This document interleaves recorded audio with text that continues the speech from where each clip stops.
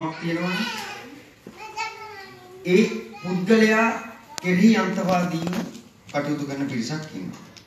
අන්න ඒක තමයි මේ රෝමයේ තියෙන මම හිතන විදිහට අභාග්‍ය සම්පන්න සිදුවීම. ලාංකීය කියන වචනය තුල එකමුතුකමක් නැතිකමක් තියෙනවා. දැන් නාගානන්ද කුඩිතුවක්කු මහත්මාව අපි මෙතෙන්ට ගෙනාවේ අපේ කපිලනිසංක මහත්මයාගේ මූලිකත්වයෙන් පෞද්ගලිකව මම UMP වත් ශ්‍රී ලංකා නිදහස් පක්ෂේවත් JVP වත් නෙමෙයි. හැබැයි පෞද්ගලිකව මට සමාජවාදී ප්‍රතිපත්තියක් තියෙනවා. ඒක ඔයගොල්ලෝ හැමෝම දන්නවා. හැබැයි මේ සමාජවාදී ප්‍රතිපත්ති රාමුව තුල ප්‍රජාතව ප්‍රජාතන්ත්‍රවාදී ව්‍යුහයකට ගැලපෙන්න අපි කවුරුත් කැමතියි. මම හිතනවා මෙතුමාගේ දැක්ම ඒ වගේ වෙන්න ඇති කියලා. ඒක නිසා කවුරු හරි හිතනවා නම් අද මේ මයික් එක අරන් මෙතන මම හිටගත්තේ නාගානන්දට කඩේ යන්නවත් UNP කාර්යෝ එක්කවත් කියන එක සම්පූර්ණ ප්‍රතික්ෂේප කරන්න ඕනි. මම ඔයගොල්ලන්ට ගරු කරනවා. පහුගිය දවස්වල මෙතුමාගේ පැමිණීම සම්බන්ධව අපි ප්‍රචාරය කරනකොට මාධ්‍ය කියන එක අසුරවන්නට දන්නේ නැති සමාජ මාධ්‍ය එහෙම නැත්නම් මුහුණුපත වගේ ඒවා වැඩි වදුරට දැලිපී යවුනා වගේ අනවශ්‍ය කමෙන්ට්ස් තමයි ඒකේ තියෙන්නේ නේ. ඒ කියන්නේ හරි අපි දෙන්න අපි නාගානන්දගෙන් ප්‍රශ්නයක් අහමු. අපිටත් තියෙනවා ප්‍රශ්න ටිකක් අහන්න. අපි බලමු. අපි ලොතරැයියා කූරලා බලනවා වගේ බලන්න වෙනවනේ. අපි දන්නේ අපිට මෙයාව කාලා බලන්න බෑ. නේ? ඉබල බලන්න බෑ. මේ වගේ මිනිස්සෙක් එළියට එනකොට අපේ අනිත් අය කරන්නේ හැමදාම අර අන්තවාදී අතකොළු වෙච්ච අය පාගෙන. දැන් මේ කමෙන්ට්ස් වලින් මම දැක්කා ඇත්තටම මේ ප්‍රචාරය කරන අයගේ පෞද්ගලික මොකක් හරි අඩුපාඩුවක් අල්ලගෙන කියනවා ඔයා මේවට සුදුසුද අරීමේ කියලා. ඉතින් ඒ වගේ මෝඩ රැලක් එක්ක තමයි මේ ගනුදෙනුව කරන්න වෙලා තියෙන්නේ. දේශපාලනයේ බොහෝ පාලකයෝ මෝඩයි. ඒ පාලකයෝ පස්සේ යන පාලිතයෝ බොහෝ මෝඩයි. ඒ නිසා තමයි ඒ පාලකයන්ගේ පීඩණයට යහපත් මිනිසුන්ට ලක් වෙන්න වෙන්නේ. මම කියන්න උත්සාහ කරේ නාගන්නද මහත්මයා මෙතන වෙන රැස්වීමක් වෙන මොකක් හරි තිබුණා නම් මේ ශාලා පිරි ඉතිරෙන්න තිබුණා. මෙතෙන්ද දන්සලක් දෙනවා කිව්වා නම් නිකන් කන්න දෙනවා කිව්වා නම් මේ ශාලා පිරෙන්න ඉතිරෙන්න මිනිස්සු වෙනවා. හැබැයි දැන් මේ රෝමේ මතයක් හදලා ඉවරයි. ඔබතුමා UMP කාර්යය ඔබතුමා 2020 UMP එකට අතපොළුවක් වශයෙන් තමයි එන්නේ දෙවනි මතය තමයි ඔබතුමා ජාත්‍යන්තරව ගෙනෙන එන්ජිಒ කාර්යය කියන එක මේ ප්‍රශ්නේ අය අහයි. ඉතින් මම හිතනවා හොඳ සංවාදයක් කරමු. අපිට මෙතුමා ගැන කිසිම විශ්වාසයක් නැහැ. අපි විශ්වාස කරලා වරද්ද ගත්තා. මම හිතනවා අපි හැමෝම එකඟයි කියලා යම් තාක් දුරට අපි කැමති නාගන්ද මහත්මයා ඇත්තටම වෙනසක් කරන්න. හේතුව මේ අපි කාටවත් යූරෝ 500 600 700 800 දීලා ඡන්දේ දවසට ලංකාවට ගිහින් ඡන්දේ දාලා ඉන්න බෑ. හැබැයි ඒ එක ඡන්දෙන් කරන්නට බැරි බොහෝ වැඩ නමකුත් තියෙනවනේ දැන් රට විරෝ කියලා. මේ අපි කරනවා. අපේ සල්ලි ටික යවලා අපේ අපේ සල්ලි යවන ඉඳ අපෙන් යපනින්ද අපේ ගෙදර පස් දෙනාටම අපි කිව්වොත් නාගානන්දට ඡන්දෙ දෙන්න කියලා අපේ අම්මා අපේ තාත්තා අපේ අයියා අක්කා දෙනවා. හේතුව ඒගොල්ලෝ දන්නවා පිටරට ඉඳන් අපි ඊට වැඩි දෙයක් කරනවා. අපි ඊට වැඩි රටට ආදරෙයි. අපි මේ දේශපාලනය ගැන උනන්දු වෙන්නේ ඒකයි. සමහරට අපිට සිටිසන් තියෙන්න පුළුවන්, සමහරට මේ නැති වෙන්න පුළුවන්. හැබැයි මේ ඥාන තියෙන්නේ අපේ මව්බිමේ. අපේ ලංකාවේ බලවෙච්ච ඥාන තියෙන. ඒකයි මේ මිනිස්සුන්ට අමාරුව තියෙන්නේ. නැත්තම් මේ මිනිස්සු මේ ඉරිදා මෙතෙන්ට එන්නේ නැහැ. මේ මිනිස්සු ඊයේ රැය වෙලා නිදිය ගත්තේ. මේ මිනිස්සුන්ට එක දවසයි තියෙන්නේ. මේ මිනිස්සු කැමති අද අවුරුදු 20ක් තියෙනවා. මේ මිනිස්සු කැමති මේ මිනිස්සු එක්කකින් බත් ටිකක් කාලා නිදහසින්ද. නමුත් කොහොම හරි මෙතෙන්ට එන්නේ මේ ස්ප්‍රිට් එක. ඒකින්ද මම හිතනවා ඒ දාර්ශනික ප්‍රශ්න ඒ වගේම බිම් මට්ටමේ ප්‍රශ්න මේ හැම දෙයක්ම සංකලනය කරලා අපි හොයාගමු අපි ගවේෂණය කරමු නාගා නන්ද කියන්නේ කවුද ඊට පස්සේ අපි තීරණය කරමු 2020 දී එතුමාට රට බාර දෙනවද කියලා. එහෙමනම් හොඳ අකුල සන්නාදයකින් ඉතාමත් ගෞරවයෙන් නාගානන්ද පිළිතුරු කරනවා. අපි ආරාධනා කරනවා මුලින්ම මේ සභාව අමතන්න ඉන්පසුව අපි සංවාදාත්මක හරසරණයක් ගොඩනගමු. ස්තුතියි. Thank you. වැඩනේ?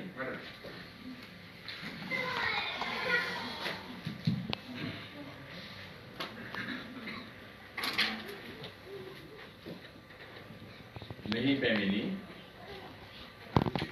ඔබ සියලු දෙනාම තාමත් ගෞරවයෙන් එන්න.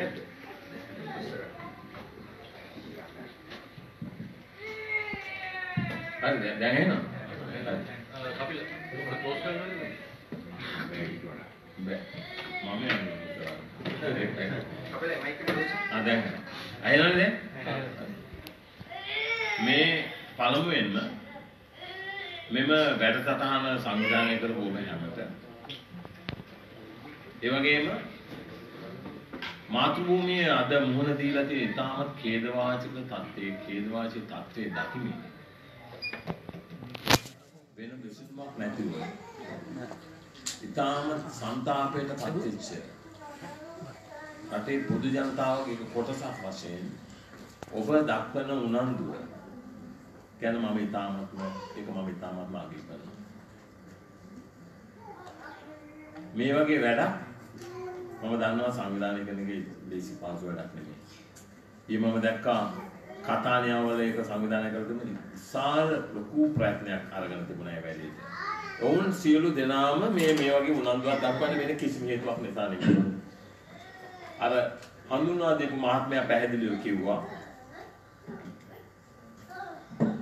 පැහැදිලිව කිව්වා අපිට 2005 තරමක් දුරට වැරදුනා. තරමක් නෙමෙයි සම්පූර්ණයෙන්ම වැරදුනා. ලංකාවේ දේශපාලනය කියන්නේ ඔබට කියන්නම් මේක අවධානය කරන්න ඕන ලංකාවේ දේශපාලනය කියන්නේ ලොකු උජාවාරම. ලොකු මංකොල්ලයක්.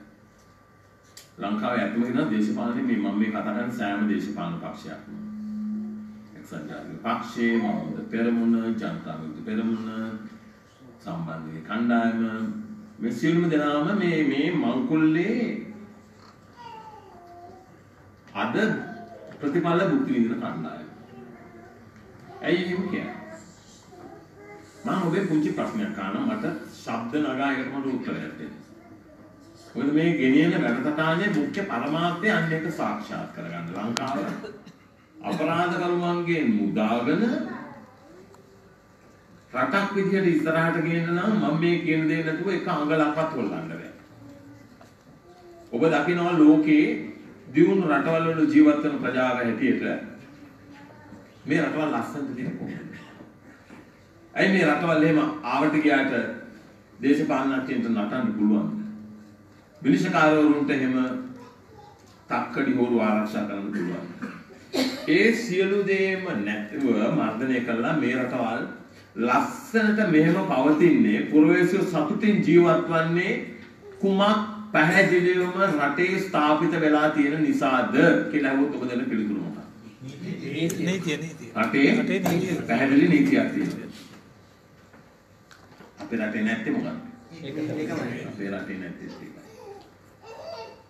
2009 ඉඳලා මේ දක්වා ඔබේ අයිතිවාසිකම් ආරක්ෂා කරන්න මේ මංකොල්ලකාරයන්ගේ. මොවුන් නිදහසේ ඔබේ රට මංකොල්ල ඇත්තටම කියවේ ඒකයි මම කිව්වේ මෙතෙන්ට එනකොට මම හරි කැමතියි ඔබ ඕන දේශපාලන පක්ෂයක් නියෝජනය කරන්න කිසිම ප්‍රශ්නයක් නැහැ. කරුණාකරලා බලන්න ඒක ක- ඒ කණ්ණාඩියේ පੈ- පැත්තකට පොඩ්ඩක් තියලා මොකද්ද මේ නාගානන්ද කියන්නේ? මොකද්ද මොහු නගන හඬ? මොහු කාව නියෝජනය කරන කෙනෙක්ද? ධර්මාත්මය කිව්ව මේ කවුද රනිල්ව නියෝජනය කෙනෙක්ද? ගැන ඔබ බලනවා තමයි. ඇත්තටම මොහු කවුද? මෙහෙම හඬක් නගන්නේ ඇයි? රට වෙනුවෙන් ඔහුට මෙහෙම වේදනාවකින් හඬ නගන්නේ හේතුව මොකක්ද කියන එක බලන්න. ඔබට කියන්න ඕන පළවන දේ අපිට වැරදිච්ච දේ තමයි මේ අවුරුදු 71ක් තිස්සේ අපි කන්දෝරු වලට බෙදලා බදාගෙන හිටියා. කට්ටියක් සාජාජල මැරුවත් කොල්ල කැපුවත් කොල්ල කට්ටියක් මහින්ද පෙරමුණේ වාත මොකක් හරි ඒක එහෙමමයි කට්ටියක් අවුරුදු 55ක් තිස්සේ JVP එකේ ඉල්ලලා ඉන්නවා. මේක තමයි අපිට නැති කලේ. කවදාකවත් පුරවැසියෝ එහෙම වෙන්න හොඳ නැහැ. පුරවැසියෝ කිසිදු දේශපාලන පක්ෂයකට එන්න හොඳ නැහැ. නාගානන්ද පිළිගන්නත් එපා. මගේ වාදයෙන් වෙන්න කිසි කෙනෙක් අවශ්‍ය නැහැ. ඔහු කරන්නේ කුමක්ද? ඔහු හරි දෙයක් කිව්වොත් ඒක නිවැරදි නම් බාර ගන්න. ඔහු ඒ වගේම වැරදි නම් ඔබ නිර්දේශ ලෙස විවේචනය කරන්න පුළුවන් වෙන. ඒක තමයි පුරවැසියන්ගේ වගකීම වෙන්නේ. අපේ රටින් නැත්තේත් ඒකයි. දැන් ඔහු ඉදිරිපත් කරන වැඩසටහනේ ගේන ප්‍රධානම මේක මෙවැනි දෙයකට යොමු වීමට ප්‍රධානම හේතු වුණේ මොකද්ද කාරණා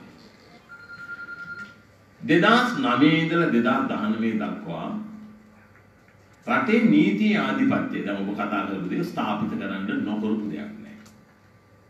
සෑම උත්සාහයක්ම ගත්තා අන්තිමට සිද්ධ වුණා අග්‍රවිංශකාරවරයාට කියන්නේ නීති ආධිපත්‍ය රටේ නීතිය බලගැන්වීමේ අංක එක අග්‍රවිංශකාරවරයා ශ්‍රේෂ්ඨාධිකරණය.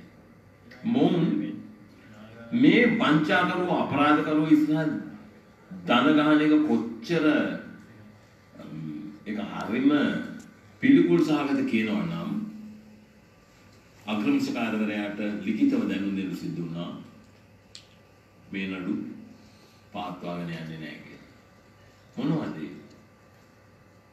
ඔබ දකිනවා අර පර්මිට් වංචානඩුවේ ජනාධිපතිවරයාගෙන් ඉඳලා පල්ලෙහාට මේකට සම්බන්ධයි.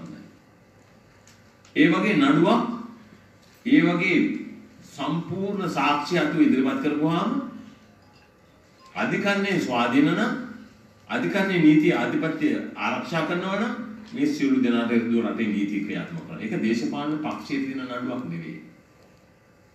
ඔය ඉන්න ප්‍රධාන දේශපාලන පක්ෂ ඔක්කොම මේ මංකොල්ලේ ඉන්නවා. රටේ ඔබේ රාජ්‍ය ආදායම, රටේ ඔබේ සෞඛ්‍ය, අධ්‍යාපනය, කෘෂිකර්මය, ප්‍රවාහනය මේවට තියෙන ආදායම තමයි මේ මංකොල්ල ගන්න. ඒතනදී පමණක් മന്ത്രിවරු 100 ගාණක් අමාත්‍ය මණ්ඩලයේ මුදල් අමාත්‍යවරයාත් ඇතුළු. ජනාධිපතිත් ඇතුළු. රටේ ආදායම බිලියන 8ක් මේ කතිය වංචා කළා. මේ මේ ඔක්කොම ගෙනාම අධිකරණයේ දක්කපු ආකල්පේ තමයි ඒ නඩුවාහනකින් ඉවත් වෙන්නේ. අග්‍රමිෂ කාර්යපරයා පවා නඩුවාහනකින් ඉවත් කරා. ඉවත් වුණා. ආණ්ඩු ප්‍රකාශ කැමැති වෙලා. එහෙම වුණාම රටකට වෙන දේ තමයි අද මුළු රටම අද බිඳින්නේ. ඒ වුණාම තමයි මො නිර්භයව ඒ මො කිසිම රටේ නීතියක් බව දැන නැති බව දැන නිසා තමයි රට නන්නත්තර කරලා යන්නේ. අද දරුවන්ට ඔබ මේ වගේ රටින් පිටත එළ මේ යුරෝපීය රටවල ඉන්නේ තව කොටසක් ලෝකයේ වෙනත් රටවල ඉන්නේ නොයෙකුත්. මේ තමන්ගේ මාතෘ භූමියේ එපා වෙලා නෙමෙයි. මාතෘ භූමිය අපිට කර කියා ගන්න දෙයක් නැති නිසා. අපිට යන්නේම නැති කළා රටේ සම්පත් පොදු සම්පත් මේ විදිහට මේ විදිහට වංචා කරලා නැති කරලා රටේ නීතියක් නැති කරලා අපිට රට මාතෘ භූමිය එපා කළා නිසා තමයි ඔබ ආද මෙතන ඉන්නේ. ඒ වගේ තමයි දකින්න ඔබේ රටේ ඉන්න මහ ජනතාවට මොන තරම් ඛේද වාචකද මුහුණ දෙන්න වෙලා කියලා බලන්න. ඔබ දැක්කා පසුගිය ඔක්තෝබර් මාසයේ 20 වෙනිදා කරපු මංකොල්ලේ අග්‍රාමාත්‍යවරයා ජනාධිපතිවරයා හා හිටපු විපක්ෂ නායක මහින්ද රාජපක්ෂලා රටේ නීතිය සත්ත පහකටම අයින් කරන්න නැතුව කුමන්ත්‍රණය කරන රාජ්‍ය බලය ඇල්ලුවා. මේක දේශපාලනය හා නීති පිළිබඳ ප්‍රශ්නයක්. නීතිය අනුව රටේ නීතියක් තිබ්බනම් අනිවාර්යෙන් ඒ දෙන්නම යන්න ඕනේ හිරගෙද. ඒ දෙන්නම යන්න ඕනේ හිරගෙද. ඒක ශ්‍රේෂ්ඨාධිකරණයට ගෙනාවම ඒක අභියෝග කරපු එක්කෙනෙක් මම. ඒ අභියෝග කළේ කිසිම දේශපාලන පක්ෂයක් නියෝජනය කරලා නෙමෙයි. නීතිය ආධිපත්‍ය තියෙන රටක සෑම දේශපාලන පක්ෂයක්ම නීතිය ආධිපත්‍ය ගරු කළ යුතුයි. ඒ අවස්ථාවේදී ඔබ දැක්කා විනිශ්චයකාරවරු හත් දෙනෙක් හිටියා. කවුද මොකද්ද දීපු තීන්දුව? ඔබට මතකද? කවුද මේ කට්ටියව ආරක්ෂා කරන්න ඉදිරිපත් උනේ? කතා කරන්නේ. කවුද මේ කුමන්ත්‍රණය ආරක්ෂා කළේ? කවුද ඇවිල්ලා රජෙ වෙන්නේ? රටේ කවුද මේ අවස්ථාවේදී මහා රාජපක්ෂ වික්‍රම රාජපක්ෂ සිරිසේන මෛත්‍රීපාල සිරිසේන රාජපක්ෂ කුමන්ත්‍රණය සාධාරණීය කරලා ඒක නීත්‍යානුකූලයි කිව්වේ කවුද රටට? රටේ නීති නීතිපතිවරයා. රටේ නීතිපතිවරයාට මොකද යා කළේ? ඔහුගේ සිහිනයක් තියෙන අගවිනිසුරු වෙන්න. ඒක අද වුණාද නැද්ද? හා? ඔහුට විරුද්ධව බරපතල දූෂණ චෝදනා රසක් තියෙනවා. ඔබේ අයිතිය ක්‍රියාත්මක කරමින් නාගානන්දම ගෙනාව බරපතල දූෂණ චෝදනා ගෙනල්ලා මෙයා නීතිඥ ධූරේනුත් නෙලපහන්න කියලා. එතකොට ඔබ දකින්න රට මොන තරම් ගරා වැටිලාද කියලා. මොන තරම් කේද වාචකද මුණ දෙන්නේ කියලා බලන්න. ඒක නිසා තමයි මේක මේ විදිහට දැකලා තමයි හොයලා බැලුවා ඇයි මේකට හේතුව කියලා. මෙන්න මේ මොහොතේ ඉඳලා කියන දේ ගැන දැඩි අවධානයෙන් අහගනින්න. අපේ රට ඔබ දන්නවා 1978 ගෙනවා ජයාධ්‍යාත්ම අනුව ව්‍යවස්ථාව. ඒ රටේ ඒ ව්‍යවස්ථාවේ තියෙන අති බිහිසුණුම දේවල් ටික තමයි මම ඔබට කියන්නේ. ඒකට නාගානන්ද යෝජනා කරන විකල්පෙත් ඔබට කියනවා ඒක. රාජ්‍ය නායකයාට ලෝකෙ කිසිම රටක විධායක බලය ඕන රාජ්‍ය නායකයාට ලෝකෙ කිසිම රටක දීලා නැහැ විමුක්තිය. කියන්නේ ඉමුනිටි එක. අපරාධ නඩු, සිවිල් නඩු ඔහු කරන කිසිම දෙයකින් කිසිම රටක රාජ්‍ය නායකයාට විධායක බලය තියෙන රාජ්‍ය නායකයාට දීලා නැහැ. නීති ඉදිරියේ ඔහු ගෙන්න බෑ කියලා. නමුත් ලංකාවේ දුන්නයි. ලංකාවේ දුන්න ජනාධිපතිවරයාට ආණ්ඩුවේ අත්ආගේ කරන ඕනම මංකොල්ලයකට ඔහුට විරුද්ධව නඩු දාන්න බෑ කියලා. බලන්න මොන තරම් ඛේද වාචකයක්ද කියලා. ඒකින්ද තමයි මම මේ ටික කියලා මම ඔබට කියන්නම් මොනවද ඒකට ගත්ත ප්‍රතිකාරය. ගණන් නිරන පාර්ලිමේන්තුවට යන්න. පාර්ලිමේන්තුවේ ඉන්නේ කවුද? ඔබේ සේවකයෝ. පාර්ලිමේන්තුවේ ඉන්නේ 225 ඔබේ ඡන්දයෙන් ඔබ පස් කළ ඇරිය මොකටද? රටේ නීතියට, සදාචාරයට, ඔබේ අයිතිය ආරක්ෂා කරමින්, ඔබේ පරම අධිකාරී බලයට ගරු කරමින්, නීතියට එකඟව, අවංකව සහ හෘද සාක්ෂියට එකඟව. ඒක අනුකූලව තාවි තියෙන වචනය. තමන්ගේ හෘද සාක්ෂියට එකඟව තෝරගත්ත ජොබ් එක කරන්න. නමුත් කියන්න කනගාටුයි දෙසේ විසි පහම ගෝවාචා. කියන්න කනගාටුයි ආණග්‍රහත්තාවේ මොන දියුණු ප්‍රකාශයක් හෝ දුන්නා. ලංකාවේ ප්‍රධානතන්ත්‍රවාදයේ කොතේ දුරට බිඳ වැටුණාද කියනවා නම් මම පුංචි සරල ප්‍රශ්නයක් අහනවා. කාටද පාර්ලිමේන්තුවේ වාඩි වෙන්න බලය දෙන්නේ? කාටද පාර්ලිමේන්තුවේ മന്ത്രിවරුන්ට බලය දෙන්නේ කාටද වාඩි වෙන්නේ? ඔබ ඔබ ඡන්දේ පත් කළා යන හැටි තමයි එච්චරයි නමුත් අද කවුද පාර්ලිමේන්තුවේ වාඩි වෙන්නේ 11 දෙනෙක් ඉන්නා පාර්ලිමේන්තුවේ වාඩි වෙලා ඔබ කණෙන් ඇදලා එලෝ එලෝට දාපු අය. ඡන්දහාර 5000ක් ගත්ත අය පාර්ලිමේන්තුවේ පිටිපස්ස දොරින් ඇවිල්ලා වාඩි වුණා ඇතුලේ. ඔන්න ලංකාවේ ප්‍රජාතන්ත්‍රවාදී. මේක මහා ඛේද වාචකයක්.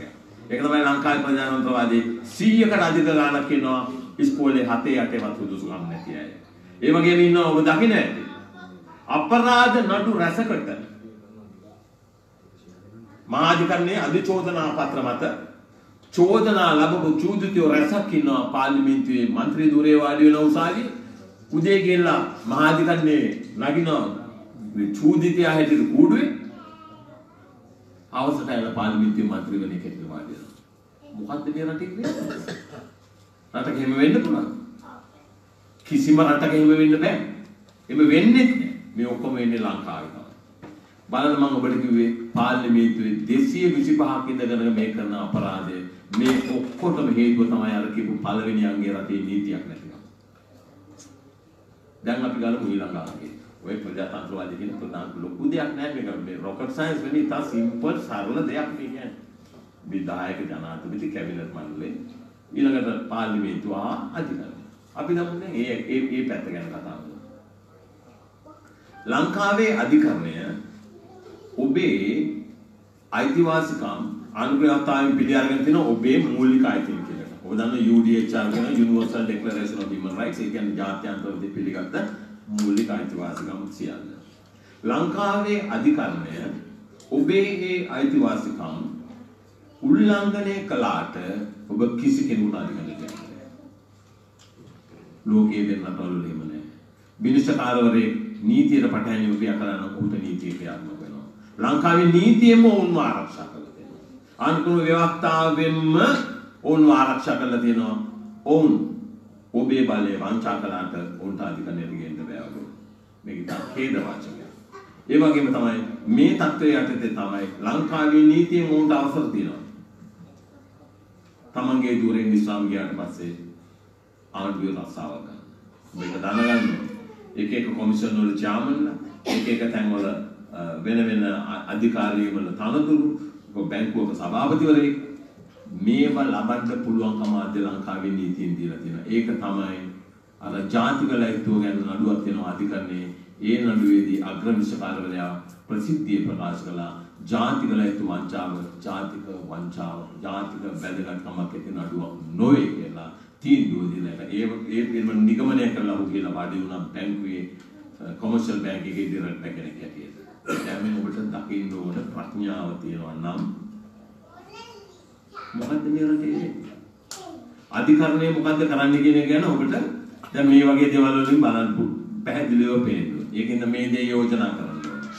දැන් රටේ ඔබ දැන් ඉන්නේ දැන් ඔබ ජීවත් වෙන මේ ඉතාලියේ ඉතාලිය ඔබ දන්නවා ඇති රටේ නීතිය පිළි අරගෙන තියෙනවා UDHR Universal Declaration of Human Rights කියන්නේ එක්සත් ජාතීන්ගේ මානව හිමිකම් ප්‍රඥාප්තියේ තියෙන අයිතිවාසිකම් රැසක් පිළිගත් රටක් තමයි ඉතාලිය කියන්නේ. ඔබේ වැඩ කරන පැය ගණන, පැයකට ගෙවන අවදීමනාව, ඔබේ වෙන අයිතිවාසිකම් ඔක්කොම මේ රටේ නීතියෙන් බාරවල් වෙනවා. ඒක පිළි අරන් වෙනවා. නම් ලංකාවේ ඔබේ ජීවත් වීමේ අයිතියවත් අනුරහතයි පිළිගන්නවා. ඔබ ඒක දන්නවා. ලංකාවේ ආණ්ඩුක්‍රම ව්‍යවස්ථාවෙන් ඔබට ජීවත් වීමේ අයිතිය ලෝකේ පිළිගත්ත ප්‍රධානම අයිතියක්. ඒකවත් පිළිගන්නේ නැහැ. ඔබ දන්නවනේ 71 89 කොච්චර තරුණිය මස් කඩේට දැක්වද කියන ඔබ දකිනවා. ඒකවත් අපේ රටේ උත්තරීතර නීති කියන ආණ්ඩුවේ අන්තයෙන් පිළිගන්නේ නැහැ. ඒ වගේම right to family life. ඔබට පවුලක් පවත්වාගෙන යාමේ අයිතිවත් ලංකාවේ නීතියෙන් පිළිගන්නේ නැහැ. ඒ වගේම තමයි තව ඉතාම වැදගත් ඉතාම ඛේදවාචක තමයි රටේ නීතිය බිඳ වැටීමට තියෙන ප්‍රධානම හේතුව තමයි මිනිසුන් තමන්ගේ පවත්වාගෙන යන්නේ ග්‍රහණය පාර්ලිමේන්තුව තියාගෙන. ඔබ හිතනවාද ඒක දන්නේ මම හිතන්නේ. මිනිසුන් පත් කිරීමේ බලය අනිවාර්යයෙන්ම සම්පූර්ණයෙන්ම පාර්ලිමේන්තුවේ බලයෙන් තොර විය යුතුයි. නමුත් ලංකාවේ විනිශ්චයකාරවරුන් පත් කිරීමේ ආයතනය මම මේ කතා කරන්නේ දේශපාලන නෙමෙයි ඔබට. මම ඔබට දෙන්නේ මොකද්ද? රටට ක්‍රමයේ වැරදිච්ච තැන්. මම කියලා මම ඔබට පස්සේ කියන්නම් මේකට ගේන විසඳුම මොකක්ද? විනිශ්චයකාරවරු පත් කිරීම සඳහා තියෙන වෙනම සභාවක්. ඒක ඉන්න 10 දෙනෙක්. ඒක අපි කියන එකේ නම ව්‍යවස්ථාදායක සභාව. මේ 10 දෙනාගෙන් 1915 අප්‍රේල් මාසේ 27 28 මේ රජය පොරොන්දු වුණ ඔබට අපි පාර්ලිමේන්තුව සම්පූර්ණයෙන් අයින් කරනවා කියලා විනිශ්චයකාරවරුගේ ග්‍රහණය තියාගෙන ඉන්නවා. හරි පාර්ලිමේන්තු මන්ත්‍රීවරු විනිශ්චයකාරවරුන් පත් කිරීමේ බලය ඔවුන්ගෙන් ඉවත් කරලා ඉතලා ජනාධිපතිවරයාගේ තිබුණ නැවත මේක ස්වාධීන ආයතනයකට දෙනවා. කියන්නේ ස්වාධීන කට්ටිය පාර්ලිමේන්තුවට විතර. මෙහෙම කියපු අය අන්තිමට පාර්ලිමේන්තුවේ හත් දෙනෙක් දාලා පිටින් දැම්මේ තුන් දෙනයි. ඒ කියන්නේ කාගේ ග්‍රහණයද ඒතකොට අධිකරණේ තියෙනවා. කාගේ ග්‍රහණයද අද අධිකරණේ තියෙනවා. මේක තමයි ලංකාවේ මේක තමයි අද ලංකාවේ නීතියේ ආධිපත්‍ය බිඳුවට වැටෙනවා. අද රට විදිහට අපි අනාථ වෙලා තියෙන්නේ මෙන්න මේ කාරණේ නිසා. මේක හරියට හඳුනාගත්තට පස්සේ can you get me a copy of that constitution? නෑ අන්තිම මුඩින්ම තියෙන. අන්න මුඩ ආ that's the document. මේක හරියට හඳුනාගත්තට පස්සේ කොටිම කියනවා නම් වතුර ටැංකියක් හිතන්න. වතුර ටැංකියක් වටේම හිල් තියනවා නම් මේකට කොච්චර වතුර දැම්මත් රඳනවද? නෑ. ඒකද මේ කරන්න හදන ව්‍යාපාරය ඇවිල්ලා නාගානන්ද ඉදිරිපත් උනේ ඇත්තටම දේශපාලනඥයෙක් ඇති. මම දේශපාලනඥයෙක් නෙවෙයි. ඔහු ඉදිරියට ආවේ මේ තියෙන මේ තියෙන මේ තියෙන ක්‍රමවේදයේ තියෙන ඔක්කොම අඩුපාඩුකම් හඳුනාගෙන මේක සම්පූර්ණයෙන්ම වෙනස් කරලා අග්ගමුණ වෙනස් කරලා රට හරි තැනකට ගෙනල්ලා ජනාධිපතිද අගමැතිද മന്ത്രിද ඇමතිද කවුද විනිශ්චයකාරු කිසි කෙනෙක් රටේ නීති අවබෝධ කළොත් රටේ නීති ක්‍රියාත්මක ඕන කෙනෙක් වෙන්න පුළුවන් කෙලින්ම ක්‍රියාත්මක මේක තමයි රටේ නැති දේ. ඒක තමයි මේ මේක ඉදිරිපත් කළේ. මේක සම්මත කරන්නේ ඒක තමයි අර මහත්මයා කිව්වේ බලමු නාගානන්දගේ දැක්ම මොකක්ද කියලා. මේක ඔබ දකින්න ඇති ඔබට දන්න සාමාන්‍ය දැනීම අනුව රටේ සාමාන්‍ය නීති සම්මත කරන්නේ කවුද?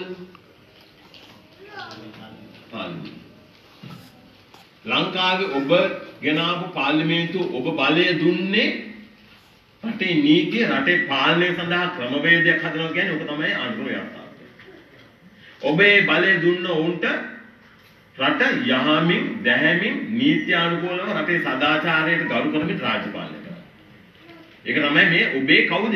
ඔබේ ඔබේ මේ ඔබේ ප්‍රින්සිපල්ස් අද ඔබේ සර්වර් ඔබේ සේවකයෝද කවුද? ඔබේ ඔබේ සේවකයෝ පාර්ලිමේන්තුවේ ඉන්නේ ඔක්කොම ඔබේ සේවකයෝ. නමුත් මොවුන් ගෙනාපු ආණ්ඩු ප්‍රයත්තාව හැදුවේ ඔවුන්ගේ ආරක්ෂාවට. රට මංකොල්ල ගන්න. ඒක තමයි මම කිව්වේ මොන්ට ඔබට අධිකරණයට ගේන්න බෑ කියලා. ඒක නිසා අවුරුදු 78 ඉඳලා 2019 දක්වා මේ වෙච්ච මහා ඛේදවාචක සම්පූර්ණයෙන්ම නවත්තනවා. කියන්නේ 100%ක්ම නවත්තන්න ක්‍රමවේදයක් ඉදිරිපත් කරනවා මේ පාර ජනාධිපති මැතිවරණයට. හැබැයි ඒක මේක යන නව ජන රජ ව්‍යවස්ථාව. මේ ජන රජ ව්‍යවස්ථාව සම්මත කරන්නේ ලංකාවේ පාර්ලිමේන්තුව නෙවෙයි.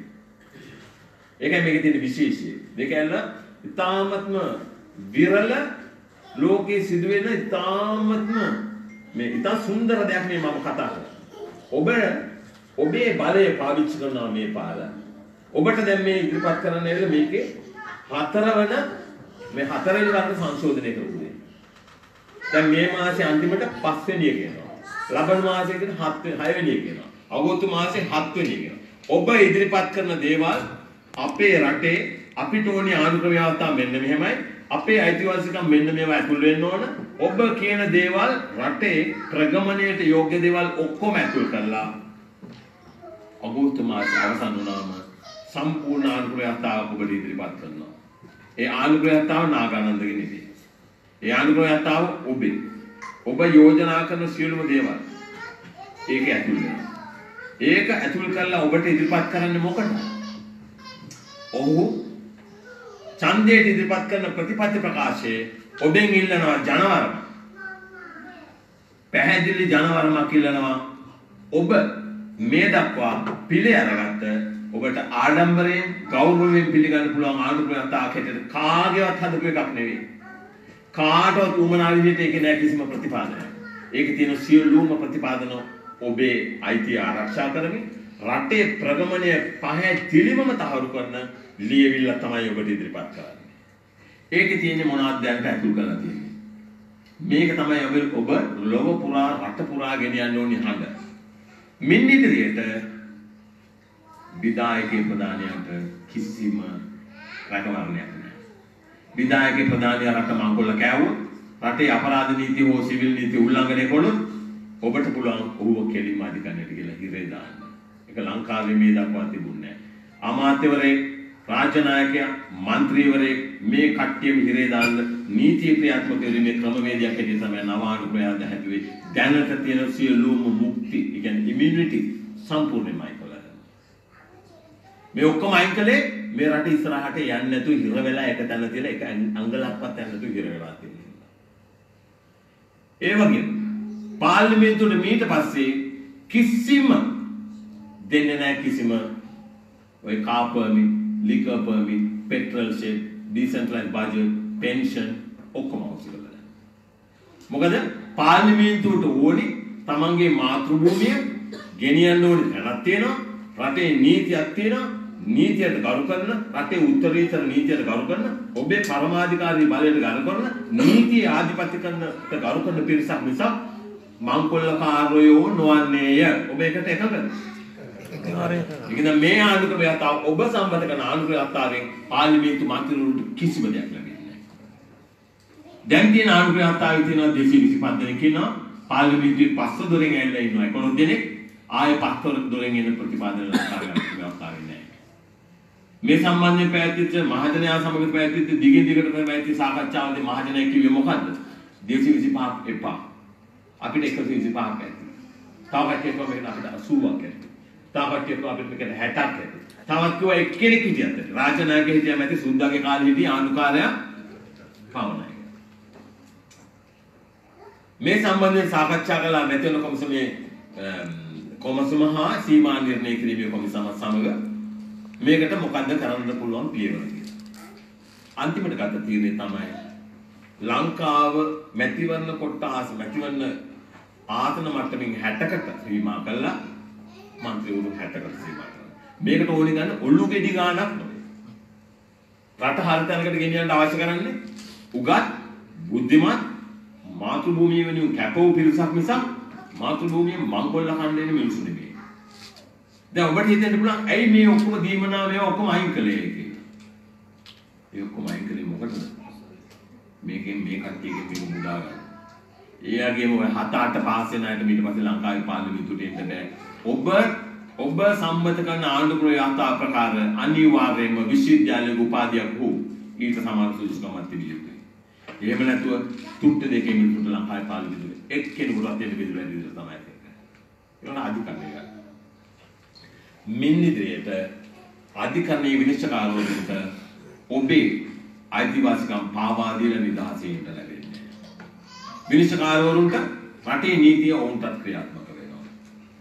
ඔබ දකින්න ඇති ලංකාවේ ඔබේ නෑදෑ හිතවතුන්ගේ ඔබේ නඩු අවුරුදු 10 15 යනවා. තාත්තත් නඩු ගෙනවා පුතත් නඩු ගෙනවා මුඩුපුරත් නඩු ගෙනවා. එහෙම නෙමෙයිද ලංකාවේ තියෙන්නේ?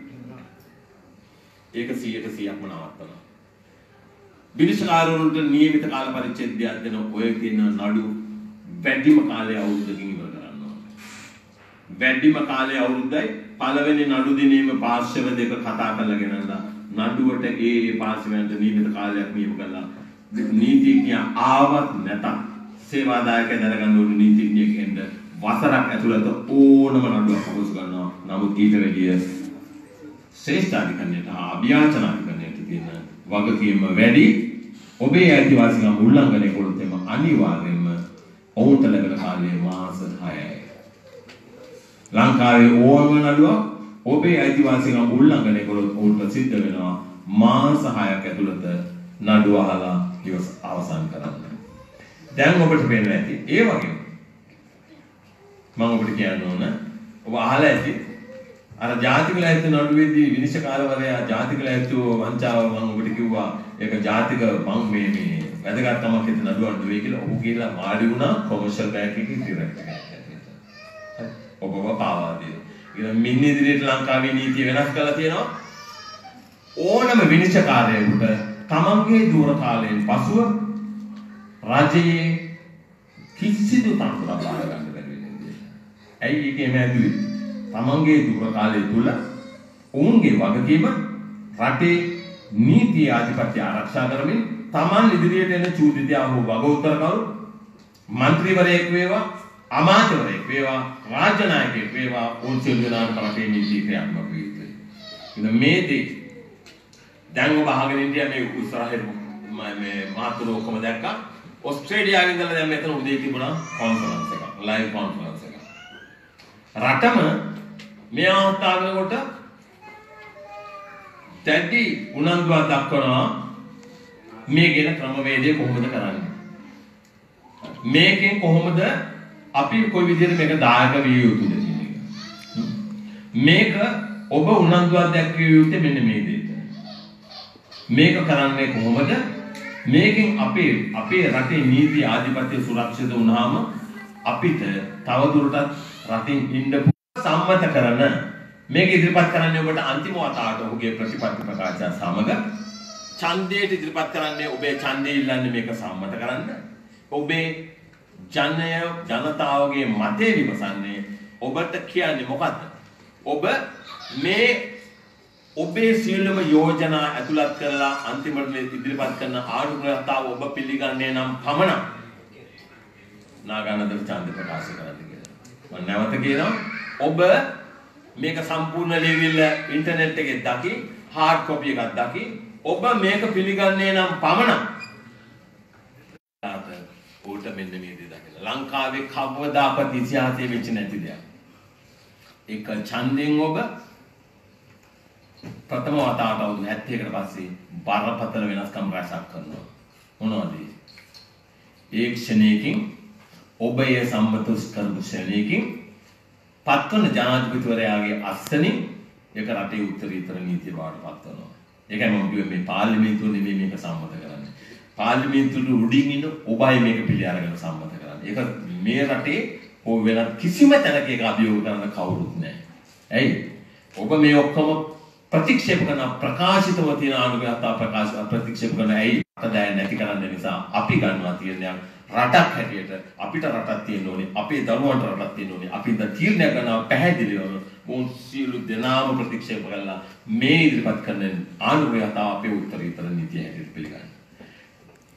දැන් බලන්න මේකෙන් මේ වෙන සිදුවීමේ මේ වෙන විප්ලවයෙන් ඇත්තටම මේක කියනවා නම් අර 71 89 ජනතා විප්ලව කරන්න හදපු දේ තමයි එක ලේ බිඳක් කොල්ලන්න නැතුව ව්‍යවස්ථාමය විප්ලවයක් තුලින් මේ රටේ ප්‍රගමනය සඳහා ගමන් මඟ සම්පූර්ණයෙන්ම වෙනස් කිරීම සඳහා මෙතෙක් කල ගිහිල්ලා කාන්තාරයට ගිහිල්ලා සින්දී ගිය ශ්‍රී ලංකා මාතාව නම් නදිය හරවනවා කෙලින්ම අනිත් පැත්තට ෂේම භූමියකට. ඒක තමයි මේ කරන්නේ.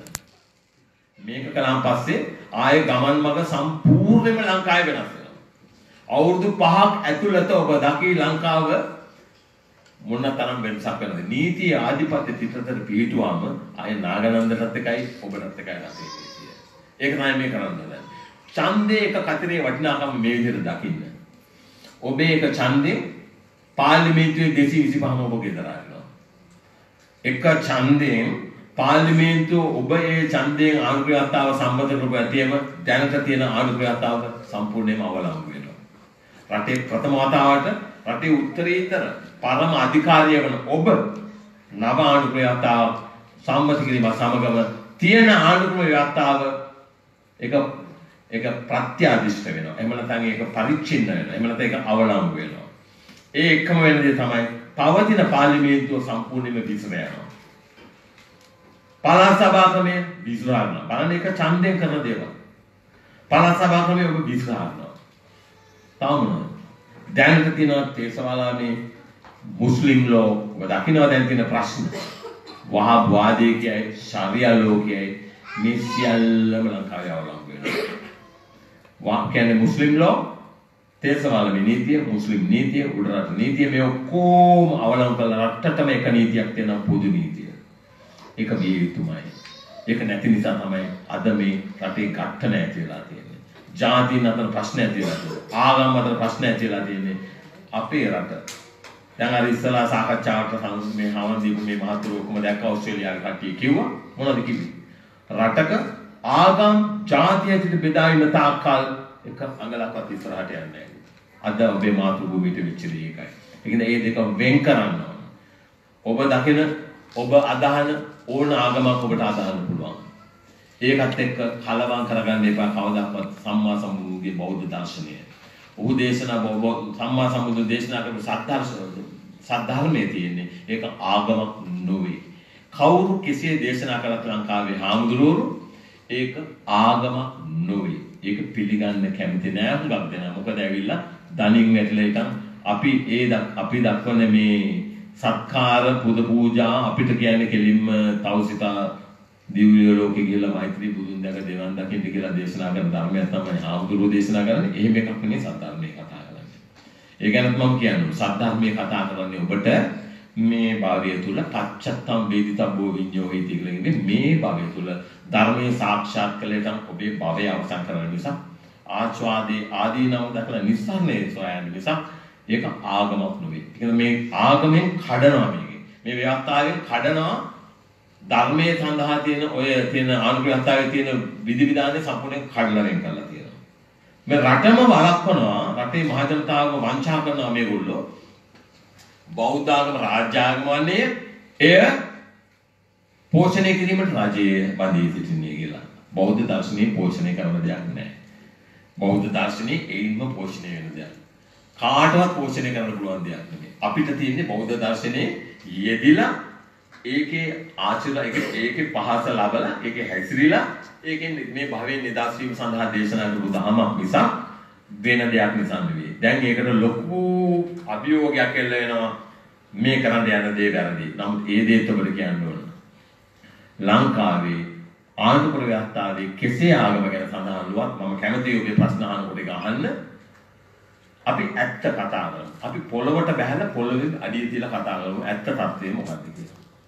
ලංකාවේ ආණ්ඩුක්‍රම ව්‍යවස්ථාවේ කොහොම කිව්වට ආනුග්‍රහතාව අර්ථ නිරූපණය කිරීමේ බලදරය හැටියට ශ්‍රේෂ්ඨාධිකරණය පිළිගන්නේ බුද්ධ ආගමට වෙනම වෙනම පෝෂණය කිරීම හෝ වෙනම ව- තැනක් දෙනවා කියන එක අධිකරණය පිළිගන්න. ඒක තමයි රටේ නීතිය. අධිකරණය කියන්නේ මොකක්ද?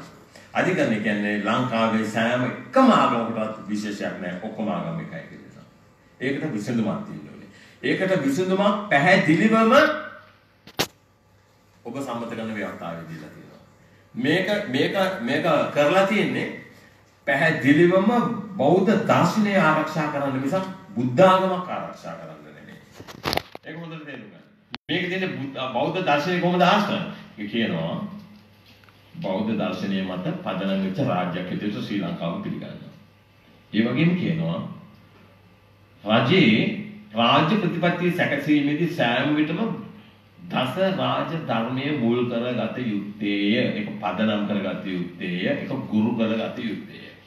එතකොට බලන්න එහෙම තිබ්බනම් මේගොල්ලෝ කියන විදිහට ධර්මයේ පෝෂණය කළා නම් මේගොල්ලෝ කියන විදිහට ඔය සක්කාය දිට්ඨිය එහෙම නැත්නම් මිත්‍යාව පස්සේ නොගියා නම් ඔය එක්කෙනෙක් ඇවිල්ලා තිරුපතිගේ තරාජියේ වාඩි වෙයි. එක්කෙනෙක්වත් ගිහිල්ලා ධර්මයේ හිටියානම් සද්ධර්මයේ හැසිරෙන රාජනායකයෝ නම් මේ එක්කෙනෙක්වත් ගිහිල්ලා තිරුපති ඉස්සරහා ගිහිල්ලා තරාජියේ වාඩි වෙයි. ඔබ දන්නවද තරාජියේ වාඩි වෙන්න එක තමන්ගේ බලට රත්තරන් දානකොට හරිද? ඔබ කිලෝ 70ක් බරයි කියන්නේ. කිලෝ 10ක් රුපියල් මිලියන 60ක්. 70 අයවරක් හත කියන 40 හා මිලියන 420ක්. ඒක කොස්කොල සල්ලිනේ තියෙන්නේ. හරිද? තරාදියේ දාලා ගිහිල්ලා ඔබ එකක් දන්නවද? මොකද්ද ඔය කරන්නේ කියලා? උසාවියෙන් මේගොල්ලෝ කරදෙන මම මේ කතා කරන්නේ තුන් හතර දෙනා ගැන. මොවුන් හැමදාම අධිකරණයේ දෙපයින් පාගගෙන එකෙන් මර්ධනය වෙලා ආරක්ෂා වෙලා ඉන්නවා. නමුත් Tamange හෘද සාක්ෂිය තියෙනවා. හෘද සාක්ෂිය Tamanට හැමදාම ශාප කරනවා. තොපි මෙහෙම කළා කියලා. තොපි තොපි මාතෘ භූමිය මේ විදිහට වංචා කළා. ඒ ඒ ඒකේ ශාපේ වදින. ඒ ශාපයෙන් ගැලවෙන්න තමයි මේ තිරුපතිගේ තරාදිය කියලා වාඩි වෙන්නේ. හරි තිරුපතිගේ තරාදියේ වාඩි වෙන්නේ ඒ ශාපයෙන් ගැලවෙන්න නීතියෙන් ගැලවුණාට ඒකෙන් නම් ගැලවෙන්න හම්බෙන්නේ නැහැ. හෘද සාක්ෂිය ශාපේ හැමදාම කනවා මේගොල්ලෝ. මෙතනදී මෙහෙමයි ඊට පස්සේ ඉතින් ඊගන කතා කරලා වැඩක් නැහැ. එතනදී අපි දකින්න ඕනේ මේ නිසා මොකද්ද අපිට මේකට තියෙන විසඳුම එහෙමනම්. ඒක තමයි කියන්නේ මේකේ අපි අනිවාර්යයෙන්ම අපේ රට දැන් ඔය ගිහිල්ලා තියෙන මම හැමදාම කියන තමයි ඕස්ට්‍රේලියාව කියන්නේ නිව්සීලන්ත කියන්නේ කැනඩාව කියන්නේ USA කියන්නේ බ්‍රිටන් කියන්නේ යුරෝප් මේන්ලන්ඩ් කියන්නේ මේ හැමතැනම ඇවිල්ලා ඉන්නේ ඔබේ මාතෘභූමියට ඔබේ තියෙන ගෞරවය ඔබේ තියෙන ඒ ජාත්‍යාලය නැති නිසා නොවේ. ඇයි? වෙන කරන්න දෙයක් නැති නිසා. මාතෘභූමිය මේ විදිහට නිදහසේ මංකොල්ල කනකොට ඔබට සිද්ධ වෙලා තියෙනවා කොහොමද රටින් පැනලා මොනවා හරි කරගන්න. ඔබ දැකලා ඇති. අර හම්බන්තොට පැත්තෙන් ම- හම්- ඒ පැත්තෙන් බෝට් වල නැගෙන ඕස්ට්‍රේලියාවට යන මාළු අල්ලන්න. යනකොට ගිලිලා මැරෙනවා මිනිස්සු. ඒ කියන්නේ ආසාවට නෙමෙයි. වෙන කරගන්න දෙයක් නැති නිසා රට කරවන උන් නිදහසේ මාතෘභූමිය මංකොල්ල කනකොට රටේ පුරවැසියන්ට වෙන කරගයා ගන්න දෙයක් නැති තත්ත්වයකටපත් කරලා තියෙනවා. එතකොට ඔබ තීරණයක් ගත යුතු නොවේද? අනිවාර්යයෙන් මේ සම්බන්ධයෙන් ඔබ ඉදිරිපත් වෙලා නෑ මේක කරන්න බෑ. අපි මේ සම්බන්ධයෙන් පැහැදිලි තීරණයක් ගන්න ඕනේ. අපි මේ පාර්ශ්ව තීරණය කරන්න බෑ. ඔබට ඒ ශක්තිය හා ධෛර්යය දෙන්න තමයි නාගන්න ඉදිරියට ආවේ. තු වෙන කිසි දෙයකට නෙවෙයි. ඔහු දේශපාලනයක් නෙවෙයි. ඔහු ආවේ මේ ඉදිරි ජනාධිපති නැති වෙන්නේ මම ඔබට කියන්නේ මෙච්චරයි. මේ ඉදිරි ජනාධිපතිවරණයේ ඉදිරිපත් වෙන කිසිම අපේක්ෂකයෙකුට විධායක ජනාධිපති දුරේ බලතල නැහැ. ඇයි එහෙම කියන්නේ? පසුගිය ජනාධිපති මැතිවරණයේදී සම්මත කරපු ඊට පස්සේ ගෙන ආපු සම්මත කරපු 19 වෙනි ව්‍යවස්ථා ප්‍රකාරව ජනාධිපති සිරිසේන හා මෛත්‍රී කවුද රනිල් වික්‍රමසිංහ සමග තියෙන ඩීල් එක ජනාධිපති සිරිසේන විශ්‍රාම ගියාට පස්සේ තවදුරටත් විධායක ජනාධිපතිවරයාට ඒ බලතල නැහැ. ඒකින්ද මේ ජනාධිපති මැතිවරණ ඉදිරිපත් වෙන කිසිදු අපේක්ෂකයෙකුට විධායක බලතල නැහැ. ඒකින්ද ඒක වැඩකුත් තවදුරටත් ඒක විධායක ජනාධිපති දුරේ නොවේ. ඒක හරියට තේරුම් අරගෙන මේ ප්‍රශ්නෙට විසඳුමක් දෙන්න ඕන නිසා පැහැදිලිවම රටේ ගමන් මඟ අගමුල වෙනස් කරලා. මේක U-turn ගහලා හරි පැත්තකට රට මෙහෙවන්න ඕනේ නිසා තමයි ඔබට මේ වැඩපිළිවෙල ඉදිරිපත් කළේ. ආය වෙන කිසිම දේ චේතනාවක් නෙමේ. මාතෘ භූමිය අපි ආරක්ෂා කරන්න ඕනේ. අපි තවදුරටත් දේශපාලන පාට පක්ෂ ඔක්කොගේම නිදහස් වෙලා. එක රටක් එක දයක් එක නීතියක් ඔස්සේ අපේ මාතෘ භූමිය ඉදිරියට ගෙනියමු ඒ සඳහා අපි අපකම වෙමු ඒ සඳහා මේ ගත්ත පියවර ප්‍රඥාවෙන් දකිමු එකයි මේ වගකීම වෙන්නේ අපි කරුණා කරලා දේශපාලන පක්ෂ වලින් බෙදී ඉඳලා අපිට වෙච්ච විනාශය අපි හොඳටම දැක්කා අවුරුදු 71ක් තිස්සේ. ඉතින් මේ ලැබිච්ච අනගිය අවස්ථාව මේක කවදාවත් ඔබට උදා වෙන්නේ නැහැ. වෙන කිසිදු අපේක්ෂකෙක් එන්නේ නැහැ මේ වැඩේ කරන්න. ඇයි? ඇයි එන්නේ? උන් එන්නේ මංකොල්ලෙට. උන් එන්නේ පැහැදිලිවම මංකොල්ලෙට. නමුත් මේකේ මංකොල්ලෙට 100ට 100ක්ම වැට බඳින වැඩ පිළිවෙලා. එතකොට මේ කරන වැඩ පිළිවෙලේ මේක ඉෂ්ට වුණාට පස්සේ ආය ලංකාව විගණකාධිපතිවරයා පැහැදිලිවක වසර පහක් ඇතුළත දා වාර්ෂික ආදායම රටේ කීයද? 1 ට්‍රිලියන් එක. බිලියන 10. මේකෙන් බිලියන 250ක් මොවුන් වංචා කරනවා. ඒතේ මෙසේ මුදලක් නෙමෙයි.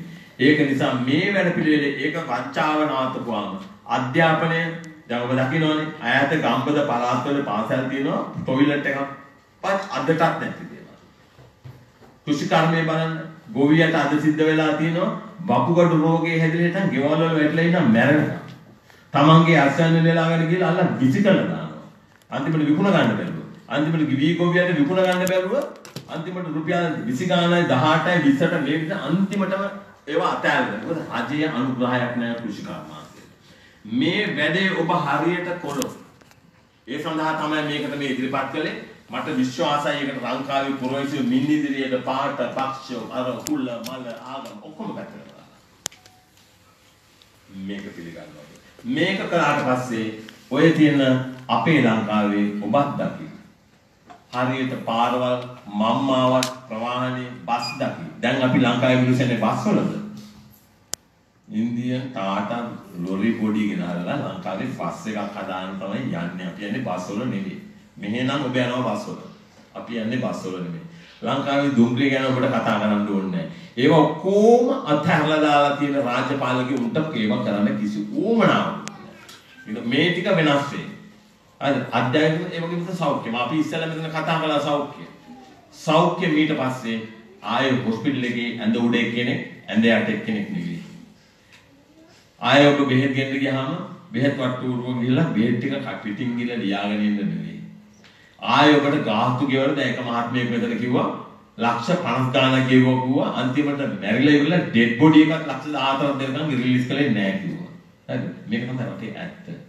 ඒක න රට ඔබ අපේක්ෂා කරනවා නම් මාතෘ භූමිය හරි තැනකට ගේන්න. මේක හැමදාම අහන ප්‍රශ්නයක්. සෞඛ්‍ය, අධ්‍යාපනය, සෝෂල් සිකියුරිටි ලංකාවේ සෝෂල් සිකියුරිටි එකක් තියෙනවද ඔබට? සමාජ සුබ සාධනයක් තියෙනවද? ඒක දෙයක් ලංකාවේ නැහැ. දැන් මෙහෙ ඔබට කිව්වා අවුරුදු ගාණක් හිටියට පස්සේ අනිවාර්යයෙන්ම ඔබට පෙන්ෂන් එකට එන්ටයිටල් ඔබ අයිති. ඒව ලංකාවේ නැහැ. මේ වැයි අපිට කරන්න බැරි. ඇයි අපිට මේවා ලංකාවේ හඳුනා දෙන්න බැරි? රාජ්‍ය ආදායම නිදහසේ මේ මංකොල්ල ගන්න නිසා. ඒක නිසා තමයි මම මගේ කතාව නම් මේ ඉතාලම කෙටි කරන නම් ඊට පස්සේ මේ වැඩිදී නෑ අපිට තව ගමනක් යන්න තියෙන මෙන්න ඉදිරියට. මම මේකේ ඔබට ඉදිරිපත් කළේ මෙන්න මේකයි. එකම මුඛ්‍ය පරමාර්ථය වෙන කිසිම දෙයක් නෙවෙයි. ඒක තමයි මම කිව්ව ඔබට ප්‍රශ්න අහන අවස්ථාවේදී ඒ ප්‍රශ්න ඕන දෙයක් අහන්න. මේක තියෙන එකම ඒකායන පරමාර්ථය ඔබේ මාතෘ භූමියේ කෙසේ වූ මොන ක්‍රමවේදයකින් මේ අපරාධකරුවන් මුදාගෙන දේශපාලන පක්ෂ පාට ඒව ඔක්කොම පැත්තකට දාලා මේ අවස්ථාවේදී අපි පැහැදිලි තීරණයක් ගමු. මොකද ගන්න තීරණය? අපි අපේ රට සුඛිත මුදිත කරනවා කියන එක ලොකු දෙයක් නෙමෙයි අපිට. අපිට වෙලා තියෙන වැරදිච්ච තැනක් තියෙනවා. ඒ වැරදිච්ච අර මුලදීම කතා පටන් ගන්නකොට කිව්වා අපිට වැරදුනා කියලා කියපා. මේක වරදින වැඩ පිළිවෙලක් නෙමෙයි. මේක ඇවිල්ලා හදන්නේ ඇත්තම කියනවා එක්තරා විදිහක ග්‍රිල් එකක්. මේ ග්‍රිල් එකට මේක ඔබ හැදුවට පස්සේ මේ වැඩපිළිවෙල මේකට නාගානන්ද රාජනායකයා වුණත් එකයි ඔබ රාජනායකයා වුණායි මංකොල්ල කෑම තියෙන ඉඩකඩ බින්දුවයි. කිසි කෙනෙකුට මේ රටේ මංකොල්ලයක් කන්න හම්බෙන්නේ නැහැ මොකද කිසි කෙනෙකුට නීතියෙන් රැකවරණයක් ලැබෙන්නේ නැහැ. ඔබ දකි අගමැතිවරු, മന്ത്രിවරු, ජනාධිපතිවරු මේ ඕන කෙනෙක් මොකද මේකේ කිසිදු විනිශ්චයකාරවරයෙක් අඩුම ගානේ රාජ්‍ය නායකයෙක් ඉදිරියට දියුණු ගන්නවත් වෙන්න දෙන්නේ නැහැ. ඇයි? ඒක තියෙන්න ඕනේ මේ තුනේ වෙන් කරලා කඩලා හදන්න ඕනේ. කඩලා හැදුවට තමයි විනිශ්චයකාරවරුන්ට කොන්ද කෙලින් තියාන නඩු තීන්දුවක් දෙන්න පුළුවන්. මෙන්න මේක තමයි නාගානන්ද ඔබට ඉදිරිපත් කරපු වැඩපිළිවෙල. මම ඔබෙන් ඉතාම මම ඉතාමත් උමනාවෙන් අවධාරණය කරනවා. මේක දකින්න මේකේ විනිවිද දකින්න මේ වැඩපිළිවෙල මොකද්ද? මොහු කවුද? හැබැයි මේ දේ කියනවා. මේ වැඩපිළිවෙල හරියට රටේ මහ ජනතාවගේ මේක හරියටම ජනතාව සාක්ෂාත් කරපුවාම මේ දේ වෙයි. 2020 පැවැත්වෙන මැතිවරණේ ඔබ අපේක්ෂා කරපුවට වඩා සම්පූර්ණ අගමුල වෙනස් වෙයි. ජනතාව මේක හරියට හඳුනාගත්ත වහාම ඔය කඳවුරු ඔක්කොම කඩාගෙන යනවා. එක්සත් ජාතික පක්ෂය හා පොහොට්ටුව හෝ වෙන කුමක් හෝ වේවා ජනතා විරුද්ධ කරන මොනද සම්බන්ධද මුස්ලිම් කොංග්‍රස්ද ඔය ඔක්කොම දැනට ඒගොල්ලෝ පිළිගන්නවා. මම දැක්කා. දැන් ඊයේ හිටියා වෙරෝනා කොහෙද මේ කතානිය වල අවුරුදු 35ක් එක්සත් ජාතික පක්ෂයේ හිටපු මහත්මයෙක් කිව්වා. එයා කවුද කියලා කිව්වා. මාත්තු දැන් අපිට තේරෙනවා මම අත්හැරියා එක්සත් ජාතික පක්ෂය කියලා. ඒ වගේම බොහෝටුවේ මන්ත්‍රීවරයෙක් කිව්වා. අපිට දැන් තමයි මේක තේරෙන්නේ. අපි මේක අත්හරිනවා කියලා. මේක ඔබට කරන්න දෙන වගකීම මොකද්ද? මේක 150කින් නෙවෙයි. මේක හරියට ක්‍රියාත්මක වුණා ඔබ දකි.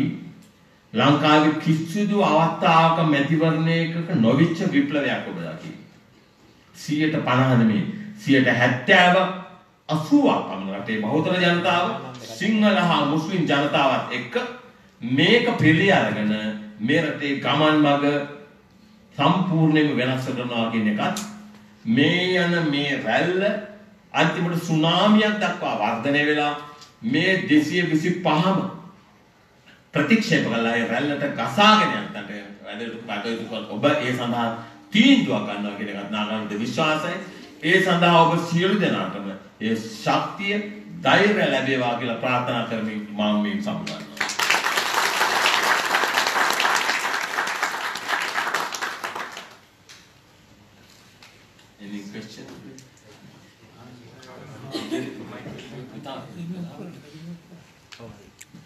දොලාට විස්සයි විස්සයි විස්සයි දැකට? මගේ ප්‍රශ්නේ තියෙන්නේ දැන් මම මිලන් වලදී ඔබට ඉදිරිපත් කරා. දැනුත් මෙතන සාකච්ඡා වුණා. ප්‍රචාරණය සම්බන්ධයෙන්. එතකොට ලංකාවේ අපි මේ සම්බන්ධයෙන් ඔය නම කතා කරනකොට අපි හිතවතුන් එක්ක මේ තාම නම දන්නේ නැති කොටසක් ඉන්නවා බොහෝ. ඔබේ ශක්තිය ධෛර්යය ගැන අපිට විශ්වාසයි. මෙතන ඉන්න හැමෝටම කන් දාන්නත් මේ ඔබතුමා ඉතර ගණන් ගන්නෙ නැහැ මේ ප්‍රශ්නේ. නමුත් ප්‍රචාරණය මදි. මේක අනිවාර්යයෙන්ම ගෙනෙන්න ඕන වැඩක්. ඒක අපි කොහොම හරි කරන්න ඕනේ. ඒකට සහයෝග දෙන්න එක තමයි තියෙන්නේ. මගේ දෙවෙනි ප්‍රශ්නේ මම නාපෝලින් ලැබිලා තියෙන මට අවස්ථාවක් දෙන්න මෙවැනි වැඩසටහනක් නාපෝලි කරන්න. කාලේ කාලේ. ඉස්තුතියි දැන් බෑ. දැන් නෙමෙයි ලබන සතියේ. අපිට තිබ්බෑ මම යනවා දැන් ආපහු ලංකාවට යනවා ආය හත් වෙනිදා මම ඉතාලියෙන් මේ තුන්වෙනි පාර තුන්වෙනි පැත්ත ආවේ ලෝකෙ කොහෙවත් එන්න ගලේ නෑ. ඔව් මිලන් ගිහින් මම ආවා. ඒක නිසා මම කියන්නේ අර මේක ගමට ගෙනියන කියන එක බහර ප්‍රශ්නේ දැන් ඉදිරිපත් වෙලා තියෙන පිරිසක් ඉදිරිපත් වෙලා තියෙනවා මොකද වුන් දකින්නවා මේ යන මේක තමයි රට බෙදා ගන්න තියෙන එකම මොනේ. ඉතින් ඉදිරිපත් වෙලා තියෙන පිරිසක් ඒ සඳහා කිසිදු ලාභ අපේක්ෂා ඔ- ඔවුන්ගේ එකම ඉල්ලීම මෙච්චරයි. ඔය නාගනන්ද කවුරුත් ඉදිරිපත් වෙලා වැඩක් නැහැ කෝටි ගණන් දිනවත් ඔහු බාරගන්නේ නැහැ. ආයේ මොනවා හරි දෙයක් බලා අපේක්ෂාවේ නැහැ කිසි කෙනෙකුට ගන්න. නාගනන්ද දෙල දෙල එකම සාහිත්‍යකෙනවා. රට හරිතනකට ගේනවා. රට ඉදිරියට ගේනවා. රටේ රටේ ආයේ කවදාක පුරවැසිය රට දාලා නැත්නම් ලංකාව වේගෙන් ඉස්සරහට ගෙනියන අන්න ඒකට ඔබ කැමති නම් උදව් කරන්න පුළුවන් කියලා. ඒකට තමයි දැන් ඉදිරිපත් වෙන්නේ. දැන් ඒකට ඉදිරිපත් වෙලා ඒක පිළි අරගෙන දැන් ගොඩක් අය එනවා. එක ප- එක දවසක් ආව එක්කෙනෙක් එයා මැලේසියන් බිලියන කෙනෙක්. not a million බිලියන. එයා ඇවිල්ලා මොනවද කිව්වේ? එයා ඇවිල්ලා දැන් මාළකට මෙහෙම මුදල් එහෙම අරගෙන එනවා. ඔබ හිතන නාගානන්ද කියන චරිතය ඒවට අවුල කෙනෙක් කියලා. ඒවට කවදාකවත් ටච් කරන්න බෑ. එතන ඔබ ඕන කෙනෙක් දැන් මෙතන ආවම ඔබ දැක්ක මුලදී මාපුවාම ඇවිල්ලා මෙතන මුදල් දෙන්න නැතුව මම මොකද කිව්වේ කියන එක ඔබ දැක්කා. මේක ඇල ඇබ්සලියුට්ලි ට්‍රාන්ස්පරන්ට්. මේක 100% විදි විදි පේන වැඩසටහනක් මේ කියන්නේ. ඔබට පුළුවන්. ඔබට පුළුවන් මේක බැංකු ගිණුමක් තියෙනවා මේ ව්‍යාපාරේ. ඒකට ඕන කෙනෙකුට දායක දෙන්න පුළුවන්. ඒනොත් සත්ත පහ කෑෂ් බාර ගන්න. මොකද මේ සත්ත පහට මේ account කරන්න ඕනේ. මේ විදි විදි භාවයේ මේ විදිහට මානසිකයි. දැන් පිළි අරගෙන තියෙනවා මේ වැඩ පිළිවෙලට මේකට ඉදිරිපත් කරලා තියෙනවා. මේකට මැදිහත් වෙලා වෙනම ටෙලිවිෂන් channel එකක් අරගෙන හරි වෙනම ටෙලිවිෂන් channel එකක් අරගෙන ජනමාධ්‍ය දැන් නාගත පොල් පොල් කට්ටිය වහලා තියෙනවා. ඔබ දකින්න ලංකාවේ ජනමාධ්‍ය කියන්නේ අතම මාෆියා එකක්. ඒ මාෆියා එකට ඕන මේ ක්‍රමවේදය පවත්වාගෙන. ඒක තමයි ඔවුන් කොහෙත්ම මේකට ආධාර උපකාර කරන්නේ. ඉතින් වෙනම ජනමාධ්‍ය වලට වෙනම ඒකට අ, ගන්න පුළුවන් ඩයලොග් එකකින් අපි ඒක කතා කරලා තියෙනවා වෙනම channel එකක් අරගෙන මේ වැඩසටහන ලංකාව පුරා ගෙනියන වැඩසටහනක් කරන්න අපේක්ෂා කරනවා. ඊට අමතරව දිවයින පුරා අඳුනාගත්ත හැමතැනම දැන් ඒ වගකීම දීලා හැම ගම දන ගම් දනව්වක් හැම තැනටම ගෙනීමේ ක්‍රමවේදයක් දැන් දියත් කරනවා. ඔබ ඒක දකි මේ ඉදිරි මාසෙ හමාර තුල නොවැම්බර් මාසෙ ඉලෙක්ෂන් එක තියෙන ඊට ඉස්සෙල්ලා ඒක විධිමත්ව ක්‍රියාත්මක වේ. yes. ස්තුතියි ඔබතුමාගේ කටයුතු අපි බොහෝ වෙලාවට දකිනවා අපි උනන්දුවක් තියෙනවා ඒ පිළිබඳව ලංකාවේ තත්ත්වෙත් එක්ක අලුතෙන් මේ ශේෂ්ත්‍රයට පැමිණිලා ඒ කරගෙන යන වැඩ ගැන නමුත් ප්‍රායෝගිකව විශාල ගැටලු කිහිපයක් අපිට තියෙනවා මේ වැඩ පිළිවෙල සම්බන්ධව ඒ නිසා ඒක බොහොම අවංක චේතනාවෙන් අහන්නේ ඔබතුමාට සහයෝගය දීමේ බලාපොරොත්තු ඇතුව පළවෙනි එක ඔබතුමා දැනට ක්‍රියාකාරී වෙච්ච ශේෂ්ත්‍ර දෙක රේගුව සහ නීතිය ඒකදී රේගුවේදී ඔබ සම්පූර්ණයෙන්ම සාර්ථක වුණා ඔබට ජයග්‍රහණي දක්වා යන්න බැරුව ගියා. මොකද? රේගුවේ. ඒ වෙලාවේදී ඔබ රටත් ඇතැරලා බිරිඳ සහ දරුවන් සමග ගියා. ඒ අවස්ථාවේදී රේගුවේ ඔබේ සටන් සගේට මොකද උනේ? ආ, ඒක- ඔවුන්ගේ ආරක්ෂණ මම පෙත්සන් එක වාරම අහන්න. ඔවුන්ට ඔබ ආරක්ෂාව පිළිබඳ වැඩ පිළිලක් දැම්මද පළවෙනි එක. දෙවෙනි එක නීති ක්ෂේත්‍රයේදී ඔබ විශාල නඩු ප්‍රමාණයක් දාලා තියෙනවා. නමුත් එකම නඩුවක්වත් ජයග්‍රහණයෙන් අවසන් වුණේ නැහැ. ඒකට හේතුව සමහර ලංකා අධිකරණයේ තියෙන දුර්වලතාව වෙන්න පුළුවන්. නමුත් ඔබ එංගලන්තයේ නීතිඥයෙක් ඔබ එංගලන්තයේ නඩු කීයක් දාලා තියෙනවද? කීයක් ගෙල්ලා තියෙනවද? කීයක් අතරමඟ යනවද? කීයක් පරිදිලා තියෙනවද කියලා දැනගන්න කැමතියි. ඒක දෙවෙනි එක. තුන්වෙනි එක ඔබගේ ව්‍යවස්ථාව ඔබ සම්මත වුණා කියනවා ඡන්දින් පස්සේ එහෙම සම්මත වෙලා 50ක් ලැබිලා ඔබට බලය නොදුන්නොත් මොකද අනිත් පැත්තේ 50ක් ඉන්නවා අධිකරණයේ තියෙනවා පොලිසියේ තියෙනවා හමුදාව තියෙනවා බුද්ධියන්ස තියෙනවා එතකොට ව්‍යවස්ථාව කැඩුවා කියලා වුණ අනුදානෙට තියෙනවා එහෙම වුණොත් ඒ අවස්ථාවේ බලය හෝමාර්ග වල ගැනීම සඳහා ඔබගේ වැඩ පිළිවෙල කොහොමද? Okay. ඒකයි මගේ ඊළඟ ප්‍රශ්නේ ඉස්සුතියි. හරි. පළවෙනි ප්‍රශ්නේ ඔබ ඇහුවේ දැන් මම හිතුවා එකකින් ඉවරයි කියලා මම ලියාගත්තා. පළවෙනි ප්‍රශ්නේ ඔබ ඇහුවා මේ රේගුව දාලා ගියේ මොකද්ද කියන ප්‍රශ්නයක් ඇහුවා. මොකද වුනේ කියන එක. රේගුව ඔබ බලන්න සෝෂල් මීඩියා වලට ගිහලා බලන්න නාගනන්ද ලංකාවෙන් යන්නේ 2001 සැප්තැම්බර් මාසේ 21 වෙනිදා. මම ගියේ මොකද නෙමෙයි යන්නේ. ඉන්න මම කියන ඉන්න මම අහන ප්‍රශ්නෙට උත්තර දෙන්න. රේගු දෙපාර්තමේන්තුව කියන්නේ රජයේ ආදායම රැස් කරන 70%ක් වසන ප්‍රධානම ආයතනය. නාගනන්ද 1978 රේගුවේ රේගු අධිකාරී විදියට ලැබෙන්නේ බැඳෙන්නේ. හැබැයි ඔහු දරන මතයක් තියෙනවා. ඒක එදත් එහෙමයි අදත් එහෙමයි. මොකද්ද? honesty integrity loyalty credibility. ඒ කියන්නේ අචල විශ්වාසය, අවංක බව, නීතිගරුක බව කවදාකවත් කොම්ප්‍රොමයිස් කරන්න බෑ. ඒක නිසාම තමයි දෙපාර්තමේන්තුවේ කවදාකවත් ඔහු කොටින්ම කියනවා නම් මාස සුමාන දෙකක් දෙත්‍රෝයේගේ තිබ්බා. එල්ලා මරණ මිනිසුන්ගේ කුටියකත් ඉන්න ගත කළා ඒ ගත දැඩි මත මතය නිසා. 2001 මාර්තු මාසේ එක නිලධාරියෙකුට වෙඩි දීලා මරනවා. සුජිත් පෙරේරා කියලා. අධ්‍යක්ෂක ජනරාල්වරයා ඉල්ලනවා IGP ගෙන් කොළඹ DIG හිටිය කොටකදෙනිය ඊළඟට ඒ දෙන්නම කරේ නැතිද ඉල්ලුවා වොලන්ටියර් සර්විස් එකෙන් දෙන්නේ දෙන්න කියලා. ඒ දුන්නේ. නැහැ. අන්තිමට අධ්‍යක්ෂක ජනරාල්වරයාට සිද්ධ වෙනවා බ්‍රිතාන්‍ය මහා කොමසාරිස් කාර්යාලයෙන් ඉල්ලීමක් කරන්න වහාම මොහු රටින් පිට කරන්න කියලා. ඒ ලියුම ඔබට දකින්න පුළුවන්. ඒ යන්නේ 2001 සැප්තැම්බර් 21 ඔබට බලන්න පුළුවන් අද 2001 ඔක්තෝබර් 9 වෙනිදා පාර්ලිමේන්තු හැන්සාර්ඩ් එක බලන්න. පාර්ලිමේන්තු හැන්සාර්ඩ් එකේ මේ රටින් පිටවීම සම්බන්ධයෙන් රජයට බරපතල මේ පාර්ලිමේන්තුවේ පැවැත්වෙන විවාදයක්. රජයේ එතකොට හිටියා ජනාධිපති හිටිය චන්ද්‍රිකා බණ්ඩාරනායක ඒ වගේම අමාත්‍ය රෙජි රණතුංග ඔහු වෙනකොට තවත් මනුෂ්‍ය ඝාතනයකට ඔහු රිමාන්ඩ් ඉඳලා එළියට ඇවිල්ලා හිටියේ. ඔහුටත් මුදල් අමාත්‍යාංශයේ ලේකම්වරයාට තියුණු දැඩි ප්‍රහාරයක් කෙල්ලගෙන පාර්ලිමේන්තුවේ නාගානන්දට රට හැර යාම සිදු කිරීම ගැන. ඔබට කියන්න දෙන්නේ මෙච්චරයි. එක එක චරිත වලට ආවේනික චරිත ලක්ෂණ තියෙනවා.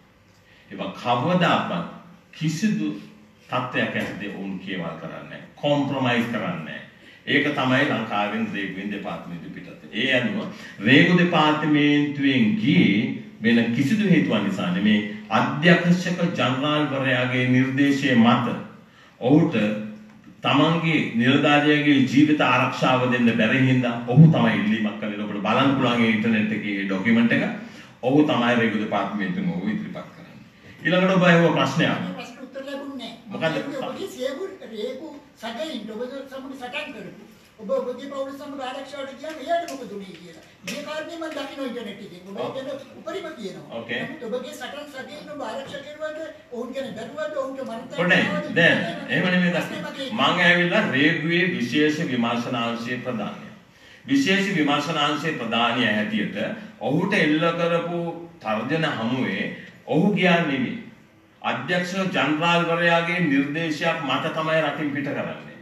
ඒකට ඒ ආතාවදී ඒ ජීවිත සාධනය එල්ලුනේ කාටද?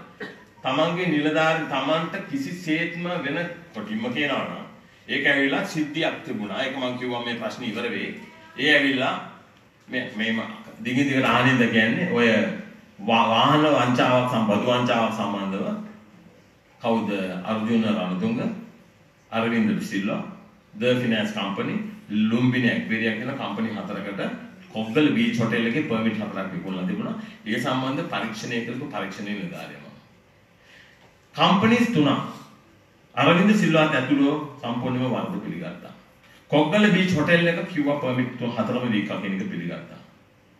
නමුත් අර්ජුන නන්දුක නඩුවේදී රෙජි රන්තුංග චන්ද්‍රික වණ්ඩානක ඍජුවම මැදිහත් වෙලා කිව්වා මේ නඩුව පවත්වාගෙන යන එක නවත්තන්න. අධ්‍යක්ෂක ජනරාල්වරයාට සිද්ධ වුණා පරීක්ෂණයේ පවත්වාගෙන යන අතරතුර ටෙලිෆෝන් කරලා කිව්වා. වහාම පරීක්ෂණය අත්හිටුවන්න. ටෙලිෆෝන් එක පැත්තකින් තියලා. මේක වෙන්නේ 2001 අගෝස්තු මාසේ 8 වෙනිදා. ටෙලිෆෝන් එක පැත්තකින් තියලා තමන්ගේ දූරේ කාර්යකර්තව ඉස්ස කරලා ඒ තීන්දුවමයි දුන්නේ. 2001 මම කො සැප්තැම්බර් 20 ගියේ ඔක්තෝබර් මාසේ චන්ද්‍රිකා බණ්ඩාරනායක ෆයිල් එක කෝල් කරලා ජනාධිපති කාර්යාලයට තීන්දුව අවලංගු කරලා ලක්ෂ 10කට ලක්ෂ මිලියන 40 ගණන් ගැව්වේ. ඒක මිලියන 1 මිලියනයකට අඩු කරලා කේස් එක ක්ලෝස් කළා. ඒක තමයි ඒ ඒ ඒ චැප්ටර් එකේ ක්ලෝසර් එක. ඒක තමයි ලංකාවේ රේවියෙන් ගියේ. වෙන ප්‍රශ්නයක් නිසා නෙමෙයි. ඔබ අහුවා ඊළඟට නඩු පිළිබඳ. මම තවතරම ප්‍රශ්න අහන්නේ නමුත් මගේ ප්‍රශ්නට උත්තර ලැබුණේ නැහැ. පොඩ්ඩක් ඉන්න. පොඩ්ඩයි පොඩ්ඩයි පොඩ්ඩයි කරුණාකර පොඩ්ඩයි මට ඕන කියෝ ඔය ප්‍රශ්නෙට මට එල්ලිලා ඉන්න එනවා දිගට ඕනේ ඔබ ඇහුවා ඔව් පොඩ්ඩයි ඔව් ඒවට මට එල්ලිලා ඉන්න බෑ ඊළඟට ඇහුවා මේ දේ අහන්න මේ මහත්මයා අහනවා මොනවද කළපු නඩු මොනවද දිනපු නඩු ඒකත් හොඳ ප්‍රශ්නයක්. ශ්‍රී ලංකාවේ 2009 ඉඳලා ලංකාවට එන්නේ. මහින්ද දේ කවුද රාජපක්ෂගේ ඉල්ලීමක් තමයි එන්නේ. ඔහුගේ අමාත්‍යාංශයේ ඔහුගේ ලේකම්වරයා කවුද? එයාගේ නම ලලිත් විරුතුංග තමයි ආරාධනා කරන්නේ. මම ඔහුට කිව්වා මහින්ද රාජපක්ෂට අර නම් දෙකක් තියෙනවා ඔබ දන්නවනේ කවුද? මේ සිංගප්පූර් ප්‍රයිම් මිනිස්ටර් ලී කුවාන් යූ මහතිර් මොහමඩ්ගේ නම් දෙක කියලා මම මහින්ද රාජපක්ෂට කිව්වා. ඔබ හරියට රට කරනවා නම් නීති ආධිපත්‍ය ඔබ ස්ථාපිත කරනවා නම් අධිකරණයේ ස්වාධීනත්වය පිළිගන්නවා නම් ඒ විදිහට කරනවා නම් සම්පූර්ණ සහයෝගය දෙනවා කියලා. නමුත් ඔහුට ඒක කරන්න පුළුවන්ද? ඔහු දෙවිද තරත රඟපාන්නේ. ඉතින් ඒක එතනින් ඉවර වුණා. ඊට පස්සේ නාගානන්ද පටන් ගන්නවා ලංකාවේ ප්‍රැක්ටිස් කරන්න. ඔහු කළේ 80ක්. තමන්ගේ වෘත්ති කාලය ඉවර කර පාවිච්චි කළේ රටේ මහ ජනතාවගේ අයිතිවාසිකම් ආරක්ෂා කරන නඩු. ඒ නඩු එකින් එක දැන් මේ කියන හින්දා මම ඔබට කියන්නම්. ඔබ දන්නවා ඔබට මතක ඇති මිලියන 619ක ඩොක්යාඩ් කම්පැනි එකේ බදු වංචාවක් තිබුණා. ඒක ආරක්ෂා කළේ වුණ එතකොට හිටපු නීතිපති පසුව අග්‍රනිෂ්කාරවරයා හිටපු මොහාන් පීරිස්. ඒ නඩුව අන්තිමට මොහාන් පීරිස් ධන ගහනකම් මේ නඩුව කළා.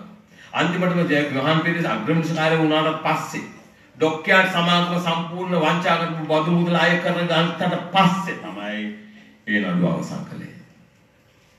එක දෙක ඔබ දන්නවා දැනට අ, විනිමය වන්ත ලංකාවේ ඔබ දන්නවා විදේශ විනිමය පාලනය කිරීම සඳහා විනිමය පාලන පනතක් තිබුණා.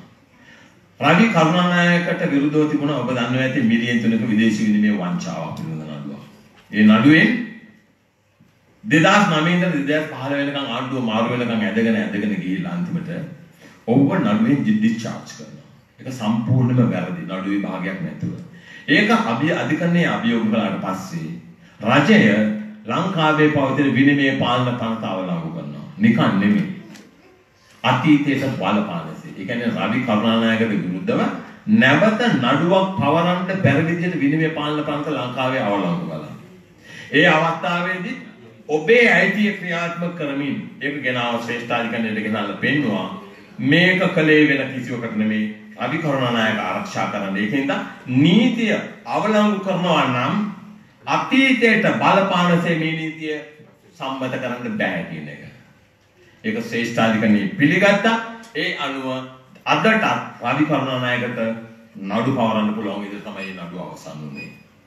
තුන ඔබ දකින්න ඇති ත්‍රිපුද්ගල මහාධිකරණයක් පිහිටුවා. මොකද ඒකේ අරමුණ? ත්‍රිපුද්ගල මහාධිකරණයක් කියන ස්ථිර ත්‍රිපුද්ගල මහාධිකරණයක් වෙන්නේ ගෙනාවා. ඒක ගෙනාවේ බරපතල මූල්‍ය අපරාධ සම්බන්ධ චූදිතයන්ගේ නඩු කඩිනමින් අහලා වහාම තීන්දුවක් දෙන්න. ඒ නඩුව ගත්තම ශ්‍රේෂ්ඨාධිකරණයේ ලංකාවේ නීතිඥ සංගමේ සභාපතිවරයා දියුණු පැසමකින් දුන්න අධිකරණයට මිලියන ලක්ෂ 25ක් ගත්තා කාගෙන්ද අලෝසියස් හරිද ලක්ෂ 25ක් අරගෙන දියුණු පැසමකින් දුන්න අධිකරණයට නඩු කල් දැමීම සඳහා නීතිඥයට ඇති අයිතිය ආරක්ෂා කරන්න ඕනේ කියලා. ඔන්න ලංකාවේ තත්ත්වය. ඒ අවස්ථාවේදී ඔබේ අයිතිය ආරක්ෂා කිරීමට ඉදිරිපත් වුණේ ඒ වගේම නීතිපති දෙපාර්තමේන්තුවේ මේ හිටියා අ, කෝදාගොඩ මහත්මයා මොන කෝදාගොඩද? යසන්ත කෝදාගොඩ ය- දැන් ඔහු එල අභියාචනාධිකරණයේ සභාපතිවරයා හොඳ නමක් දිනාගෙන හිටපු අ- අ- මේ කියන්නේ නීතිපති දෙපාර්තමේන්තුවේ නිලධාරී ඒ අවස්ථාවේදී ඔහු ඉදිරිපත් කළ ලස්සන කතාවක් අධිකරණය. සේවාදායකයන්ට ලංකාවේ නීතිඥයන්ගේ ගසාකාම ගැන ඔහු ඉදිරිපත් කළා.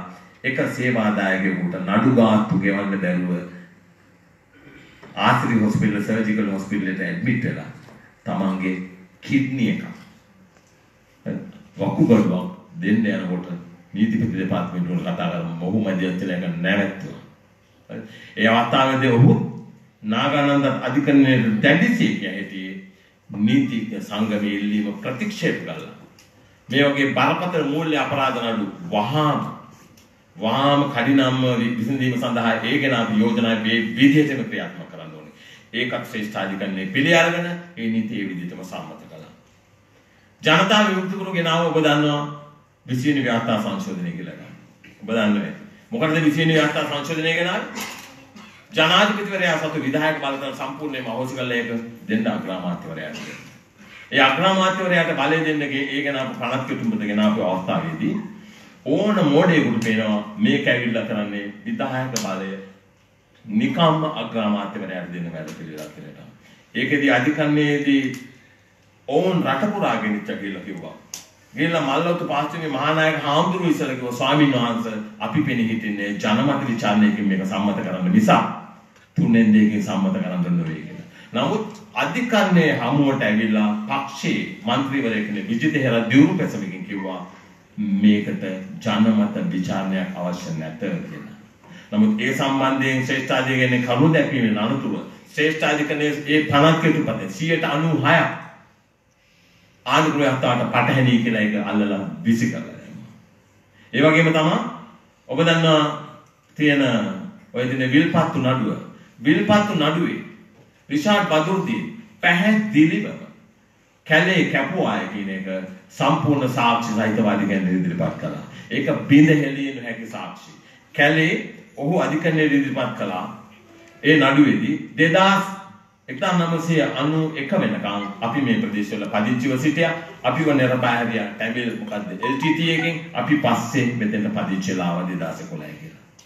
නමුත් satellite evidence Google satellite evidence තව satellite හතරක evidence සාක්ෂි සහ විගණකාධිපතිවරයාගේ වාර්තාව සමග අධිකරණයට ඉදිරිපත් කරපුවාම ඔහුගේ ඒ දියුණු පෙසම අල්ලලා විසිකර අධිකරණයේ ඒ නඩුව දැන් පවත්වාගෙන යනවා.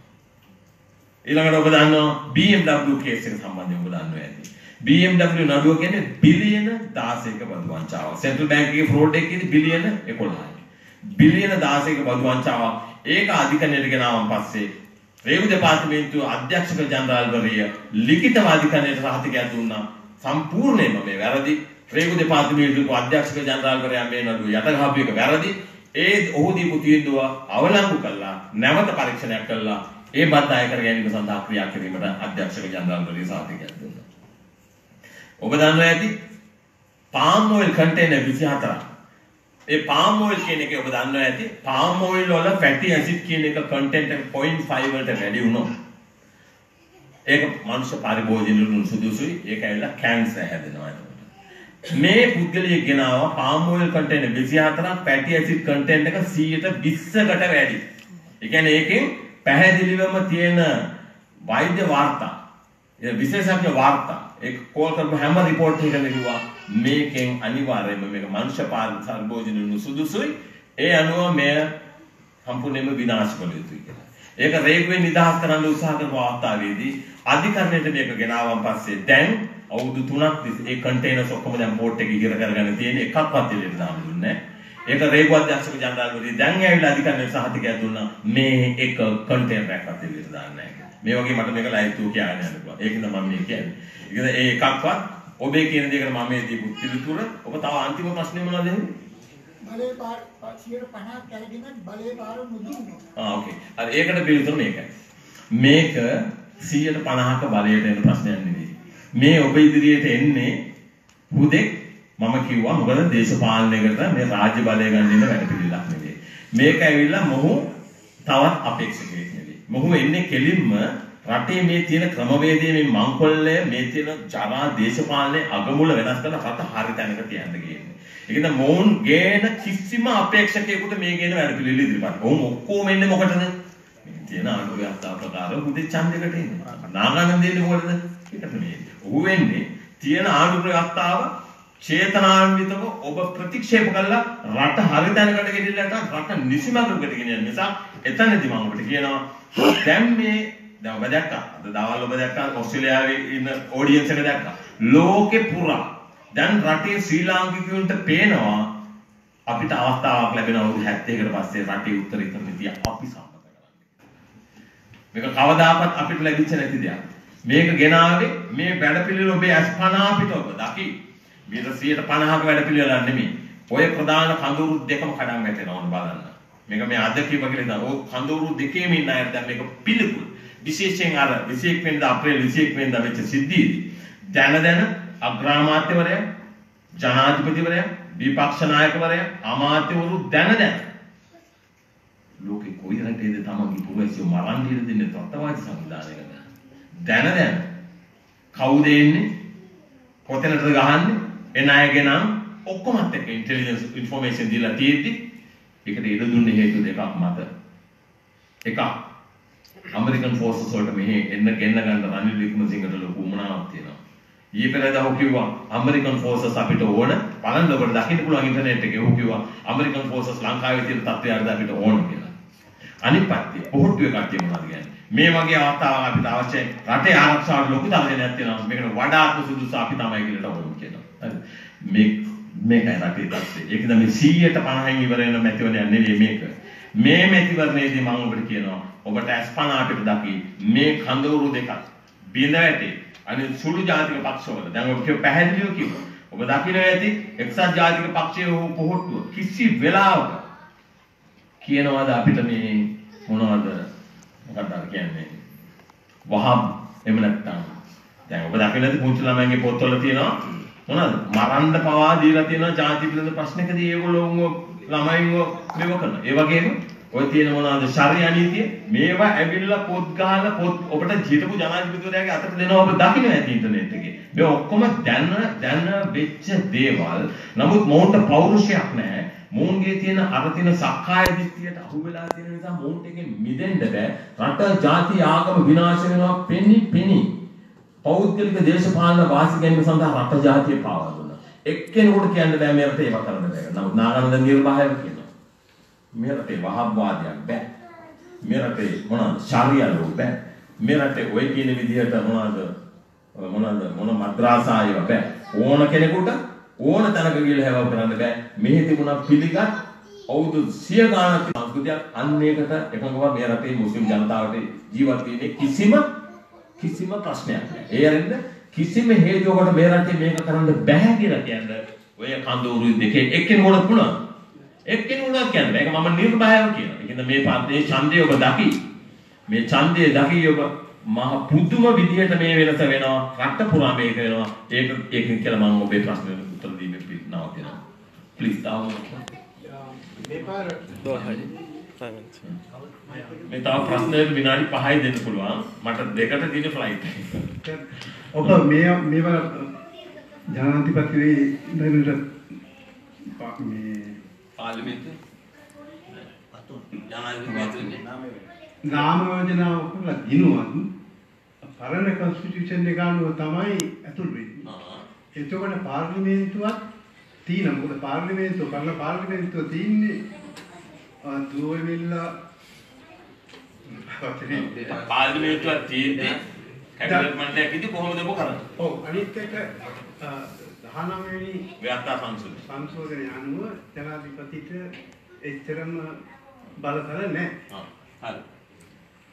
දැන් මේ ප්‍රශ්නේ ඊයේ ලයිව් ඊයේ තිබිච්ච ප්‍රෝග්‍රෑම් එකේදී ඒ වගේම පෙරේදා ලන්ඩන් වෙස්ට්මින්ස්ටර් යුනිවර්සිටි එකේදී තෝ ප්‍රශ්න නැගුවා. ඒ ප්‍රශ්නේ අහපු වෙලාවේ ડોક્ටර් ජෝ සිල්වා පැහැදිලිවම ඉදිරිපත් කළා හිටපු ජනතාවට මොකද්ද මේ රටේ ජනතාව සම්මත කරන ආණ්ඩුවේ යත්තාව හා එහි ප්‍රතිඵලය මොකද්ද වෙන්නේ කියලා. මේක හරියට බහුතරයකට වෙලා තියෙන්නේ බොක්ස් එකක් ඇතුළට වෙලා මේ වටේ බලාගෙන. ඒක එළියට බොක්ස් එක ඇතුළට වෙලා ඉන්නේ මේ අපිට මෙහෙම දෙයක් කරන්න බෑ රටේ ආණ්ඩුවේ යත්තාවක් තියෙනවා අපි ඒකට යටත් කියලා හිතන කට්ටිය. නමුත් ප්‍රඥාවන්තව හිතන රටේ පරමාධිකාරී ජනතාව දකිනවා අපි මේකට කොටු වෙන්නේ අපි මේ රටේ බලවතා අපි උඹලගේ ආණ්ඩුක්‍රම ව්‍යවස්ථාව පිසු කරනවා. උඹලත් අපි ප්‍රතික්ෂේප කරනවා. අපි සම්මත කරන ආණ්ඩුක්‍රම ව්‍යවස්ථාව අපිට 19 වෙනි ව්‍යවස්ථා සංශෝධනය වැඩකුත් නැහැ. අපි මේ සම්මත කරන ආණ්ඩුක්‍රම අපේ රටේ අගමුල වෙනස් කරනවා. එදායින් පස්සේ එතකොට මේ දේ මතක තියාගන්න. ඔබ සම්මත කරන ආණ්ඩුක්‍රම ව්‍යවස්ථාවට පස්සේ දියුණුම් දෙන්න තියෙන ආණ්ඩුක්‍රම ව්‍යවස්ථාව යටතේ නෙවෙයි ඔබ ඒක පිළි අරගෙන සම්මත කරන ක්ෂණයකින් මම කිව්ව වෙන වෙනස්කම්. ආණ්ඩුක්‍රම ව්‍යවස්ථාව උල්ලංඝනය සම්පූර්ණයෙන්ම පවතින 1978 ආණ්ඩුක්‍රම ව්‍යවස්ථාව පරිච්ඡින්න වෙනවා. ඒක අවලංගු වෙනවා. ඒකින්ද ඒ ගැන අමතක කරන්න. මේ ගැන ආණ්ඩුක්‍රම ව්‍යවස්ථාව සම්මත කළාට පස්සේ ඔබ පාර්ලිමේන්තුව විසිර යනවා. පාර්ලිමේන්තු මැතිවරණය පැවැත්වෙන්නේ නව ආණ්ඩුක්‍රම ව්‍යවස්ථාව ප්‍රකාරව. ඒක සම්මත කළේ ඔබ. ඒකේ තියෙන විධි විධාන ඔක්කොම පිළි අරගෙන හිටන් ඒක මේ දක්වා ඔබ දිනින් දින දිනින් දින යෝජනා සම්මත කරන දේවල් ඔක්කොම ඇතුළු කරලා අවසාන ડોකියුමන්ට් එක අවසාන ව්‍යවස්ථාව අගෝස්තු මාසයේ සැප්තැම්බර් මුල ඒක දිනේ තීරණය වෙන්නේ ඡන්දයට දින නියම කරන ක්‍රමවේදය අනුව ඒක අනුව ඔය ඔක්කොම අගමුල වෙනවා. පාර්ලිමේන්තුවේ මම කිව්වා 60යි ඉන්නේ. ඔය මංකොල්ල කාටවත් දෙන්න බෑ. ඒව ඔක්කොම වැටකටු බැලලා තියෙන්නේ. ඉතින්ද ඒකේ තියෙන ක්‍රමවේදය දැනට දැන් මේකට දැන් ඒ ඒ ඔහුගේ ඒ ડોක්ටර් ජෝසිල් වගේ එකක් මම නැවත පිළිවෙලකට ඒක වීඩියෝ එක රෙකෝඩ් කරලා මම ලන්ඩන් වලින් යන්න පිටත් වෙන්න ඉස්සෙල්ලා ඒක නැවතත් රටට ඉදිරිපත් කරනවා.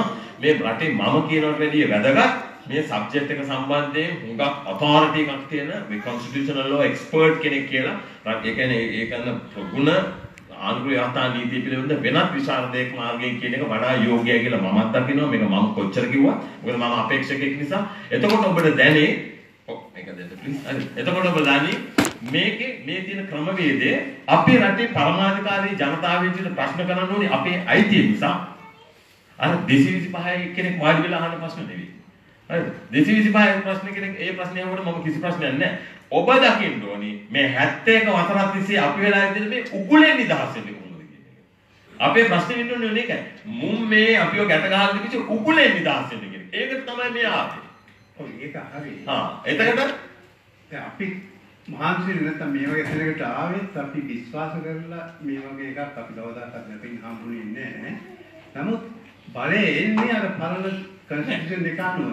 එතනදී ලීගල් දැන් අපේ කියන්නේ අපේ ආ, මේ නීතිය කරප්ෂන් කියලා එතකොට එතනින් මොනවා හරි වුණොත් මොකද වෙන්නේ? නෑ. ඔබට කියන්න ඕනේ මේකේ තියෙන එකම ප්‍රශ්නෙට මුහුණ දෙන්න වෙන්නේ මෙච්චරයි. මිනිස්සු කාලවල ඔක්කොම ගෙදර යනවා. නව ආනුග්‍රහතාව ඔබේ කතරෙන් සම්මත කරපු හැටියෙම දැනට තියෙන ආනුග්‍රහතාවේ 85 වන වගන්තිය දැන් මේගොල්ලෝ 19 ව්‍යවස්ථාවෙන් අයින් කළා.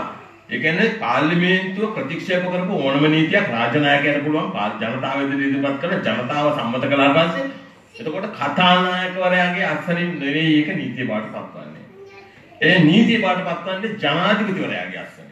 දැන් මේ පාර වෙන්නේ ඔබ සම්මත කළාට පස්සේ ඒක අත්සන් කරන්නේ ඔබ සම්මත කරපු ව්‍යවස්ථාව අත්සන් කරන්නේ ඔබ පත් කරපු ජනාධිපති. ඊට පස්සේ ආණ්ඩුව ඉවරයි.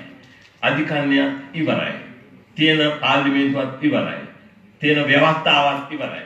පළාත් සභාව ඉවරයි. මම ඒකයි කියන්නේ මේ පාරෝබේ ඡන්දය අමිලයි. ඒකට මිලක් නැහැ. ඔබේ මේ වෙලාවේ කන්සන්ට්‍රේට් කරන්න ඕනේ රටේ ප්‍රඥාවන්ත පුරවැසියෝ වෙන මොකටවත් නෙමෙයි. මේකට අපිට ලැබිච්ච එකම අනගි අවස්ථාව තමයි මේ. මොන ක්‍රමවේදයකින් හරි අපි මේ අවස්ථාවේදී අපි එකාමෙන් නැගිටිමු.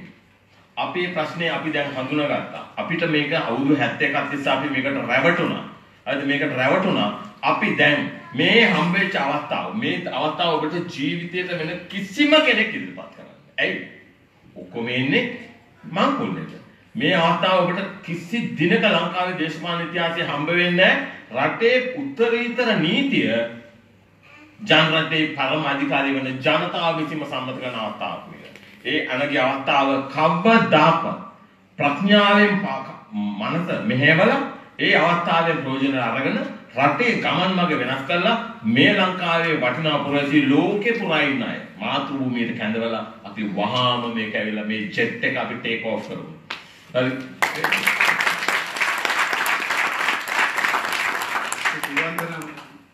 උත්සාහ කරමු. උත්සාහ කරනවා අනිත් එක අක්සා අසෝපා ආ. ඒකත් ගොඩක් වැදගත්. දැන් ඒක දැන් අත්සන් කරලාද නැද්ද කියලා දන්නේ නැහැ මේ අන්තිම ප්‍රශ්නෙට උත්තර දීලා නවතනවා. මොකද අපිට වෙලාව දැන් හරි. මම කියන්නේ ඇග්‍රීමන්ට් එක ගැන. ඒක ඉතාම භයානක ඇග්‍රීමන්ට් එකක්. රනිල් වික්‍රමසිංහ තමයි ඒකට ප්‍රතිපත්ති ඉන්න ප්‍රධානම පුද්ගලයා. ඒක මේ පාර මම ඔබට ඊයේත් කිව්වා. මොනවද මේක තියෙන්නේ?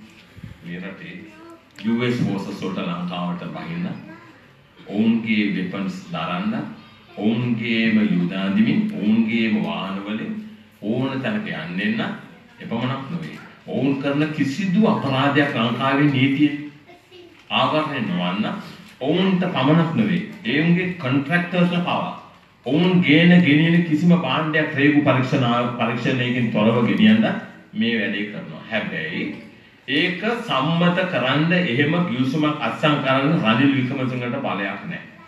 හරි රනිල් වික්‍රමසිංහයන් රටේ අග්‍රාමාත්‍යවරයා. මේ රටේ ජනාධිපතිවරයෙකුත් ඉන්නවා. ඒක තමයි මේ වෙලාවේ ඒක ඉතා වටිනා ප්‍රශ්නයක් ඔබ නැගුවේ මුළු රටම මේ මේ තියෙන මැතිවරණයටත් වඩා වැදගත්. මොකද මේ රටම පාවා දෙන වැඩක් මේ කරන්නේ. හරිද? ඒක නිසා අපි ඔක්කොම දැන් මේක ලංකාවට ගියාම මම ඕක ගන්න මොකද මම රනිල් වික්‍රමසිංහට ලි- ලිඛිතව ඇහුවා. සුමාන දෙකයි දුන්නේ. වහාම කිව්වා. වහාම උඹ මේක අත්සන් කළාද නැද්ද? අත්සන් කළා නම් කොපියක් ඉල්ලනවා. එපාර ඔහු උත්තරයක් කිව්වා. ඔහු කිව්වා මේ ගිවිසුම අත්සන් කිරීම සම්බන්ධයෙන් මට වගකීමක් නැහැ. මේක විදේශ අමාත්‍යාංශයට යොමු කළා කියලා. මේ මේ කට්ටි පැනීම පිළිබඳ ප්‍රශ්නයක්. අපි දැන් මේ තියෙන මැතිවරණයකට වඩා වඩා අවධානයක් යොමු කරන්න ඕනේ මොකද අර කවුද මංගල සමරවේල කිව්ව මිලියන් කීයද හම්බුනේ යොදවල මැරිච්ච දවසේ අර ඔව් ඔව් ඇවිත් දාස්කෝ මේ මෙච්චර මිලිච්ච මැරිච්ච අතරේ අපිට මිලියන 480ක් ඇමරිකාවේ නම් මොන්න තරම් බ්ලේච් මිනිස්සුද කියලා බලන්න. අම්ම ගහන්න මොන්න මොන්න තරම් කාලා කන්නේ මිනිස්සුද කියලා බලන්න. දැන් අපිට ෆ්ලයිට් එක වෙලා අපි නවත්තමු yes please. No time. මම අපිට කියන්න මේදී. ඔබට ඕන ප්‍රශ්නයක්. ලංකාවේ හැම සිකුරාදාවකම හවස 5ට මම ලෝකේ ඕන තැනක ඉඳලා ඔබට ප්‍රශ්න අහන්න අවස්ථාවක් දෙනවා. වෙන කිසිම අපේක්ෂකයෙක් එක දෙන්නේ නැහැ. ඔක්කොම ඉන්නේ කුණුවලේ. නාගනන්ද කකුල තියන්නේ නැති තැන කරවටක් බහැලා ඉන්න කට්ටිය ඉන්න රටක් එක. ඒකද ඔවුන් ඔබට ඔවුන්ගෙන් ඔබට අවස්ථාව ලැබෙන්නේ ඕන සිකුරාදාවක ලංකාවේ වෙලාවෙන් හවස 5ට ලයිව් ප්‍රෝග්‍රෑම් එකක් තියෙනවා. ඔබේ ඕන ප්‍රශ්නයක් යොමු කරන්න ඕන දෙයකට උත්තර දෙන්න සූදානම්.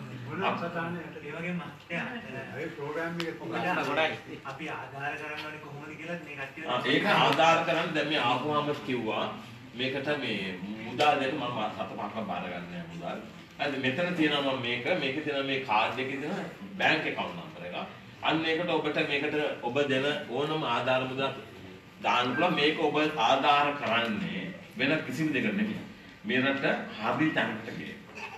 මේ රට නැවතත් අපිට මම කිව්වේ ඒක මේ ලොකු වගකීමකින් කියන්නේ මේ රට මේ නීතියේ ආධිපත්‍ය පිටවල මේ ඉතාලිය හා මේ යුරෝපේ රටවල් ඒ වගේම අර මම ගියා කොයිද ස්විට්සර්ලන්ඩ් කොච්චර සුන්දර ඒ රටවල් පවතින වෙන මොකක්වත්ම නිසා නෙවෙයි. කිසිම දෙයක් නිසා. නීතියේ ආධිපත්‍ය හරියට ක්‍රියාත්මක කරනවා සෞඛ්‍යද අධ්‍යාපනද දුෂ්කර්මද ප්‍රවාහනද ඔක්කොම ටික ලස්සනට තියෙනවා. අන්න ඒකට අපිට ඇක්ට් වෙන්න. right බොහොම ස්තුතියි.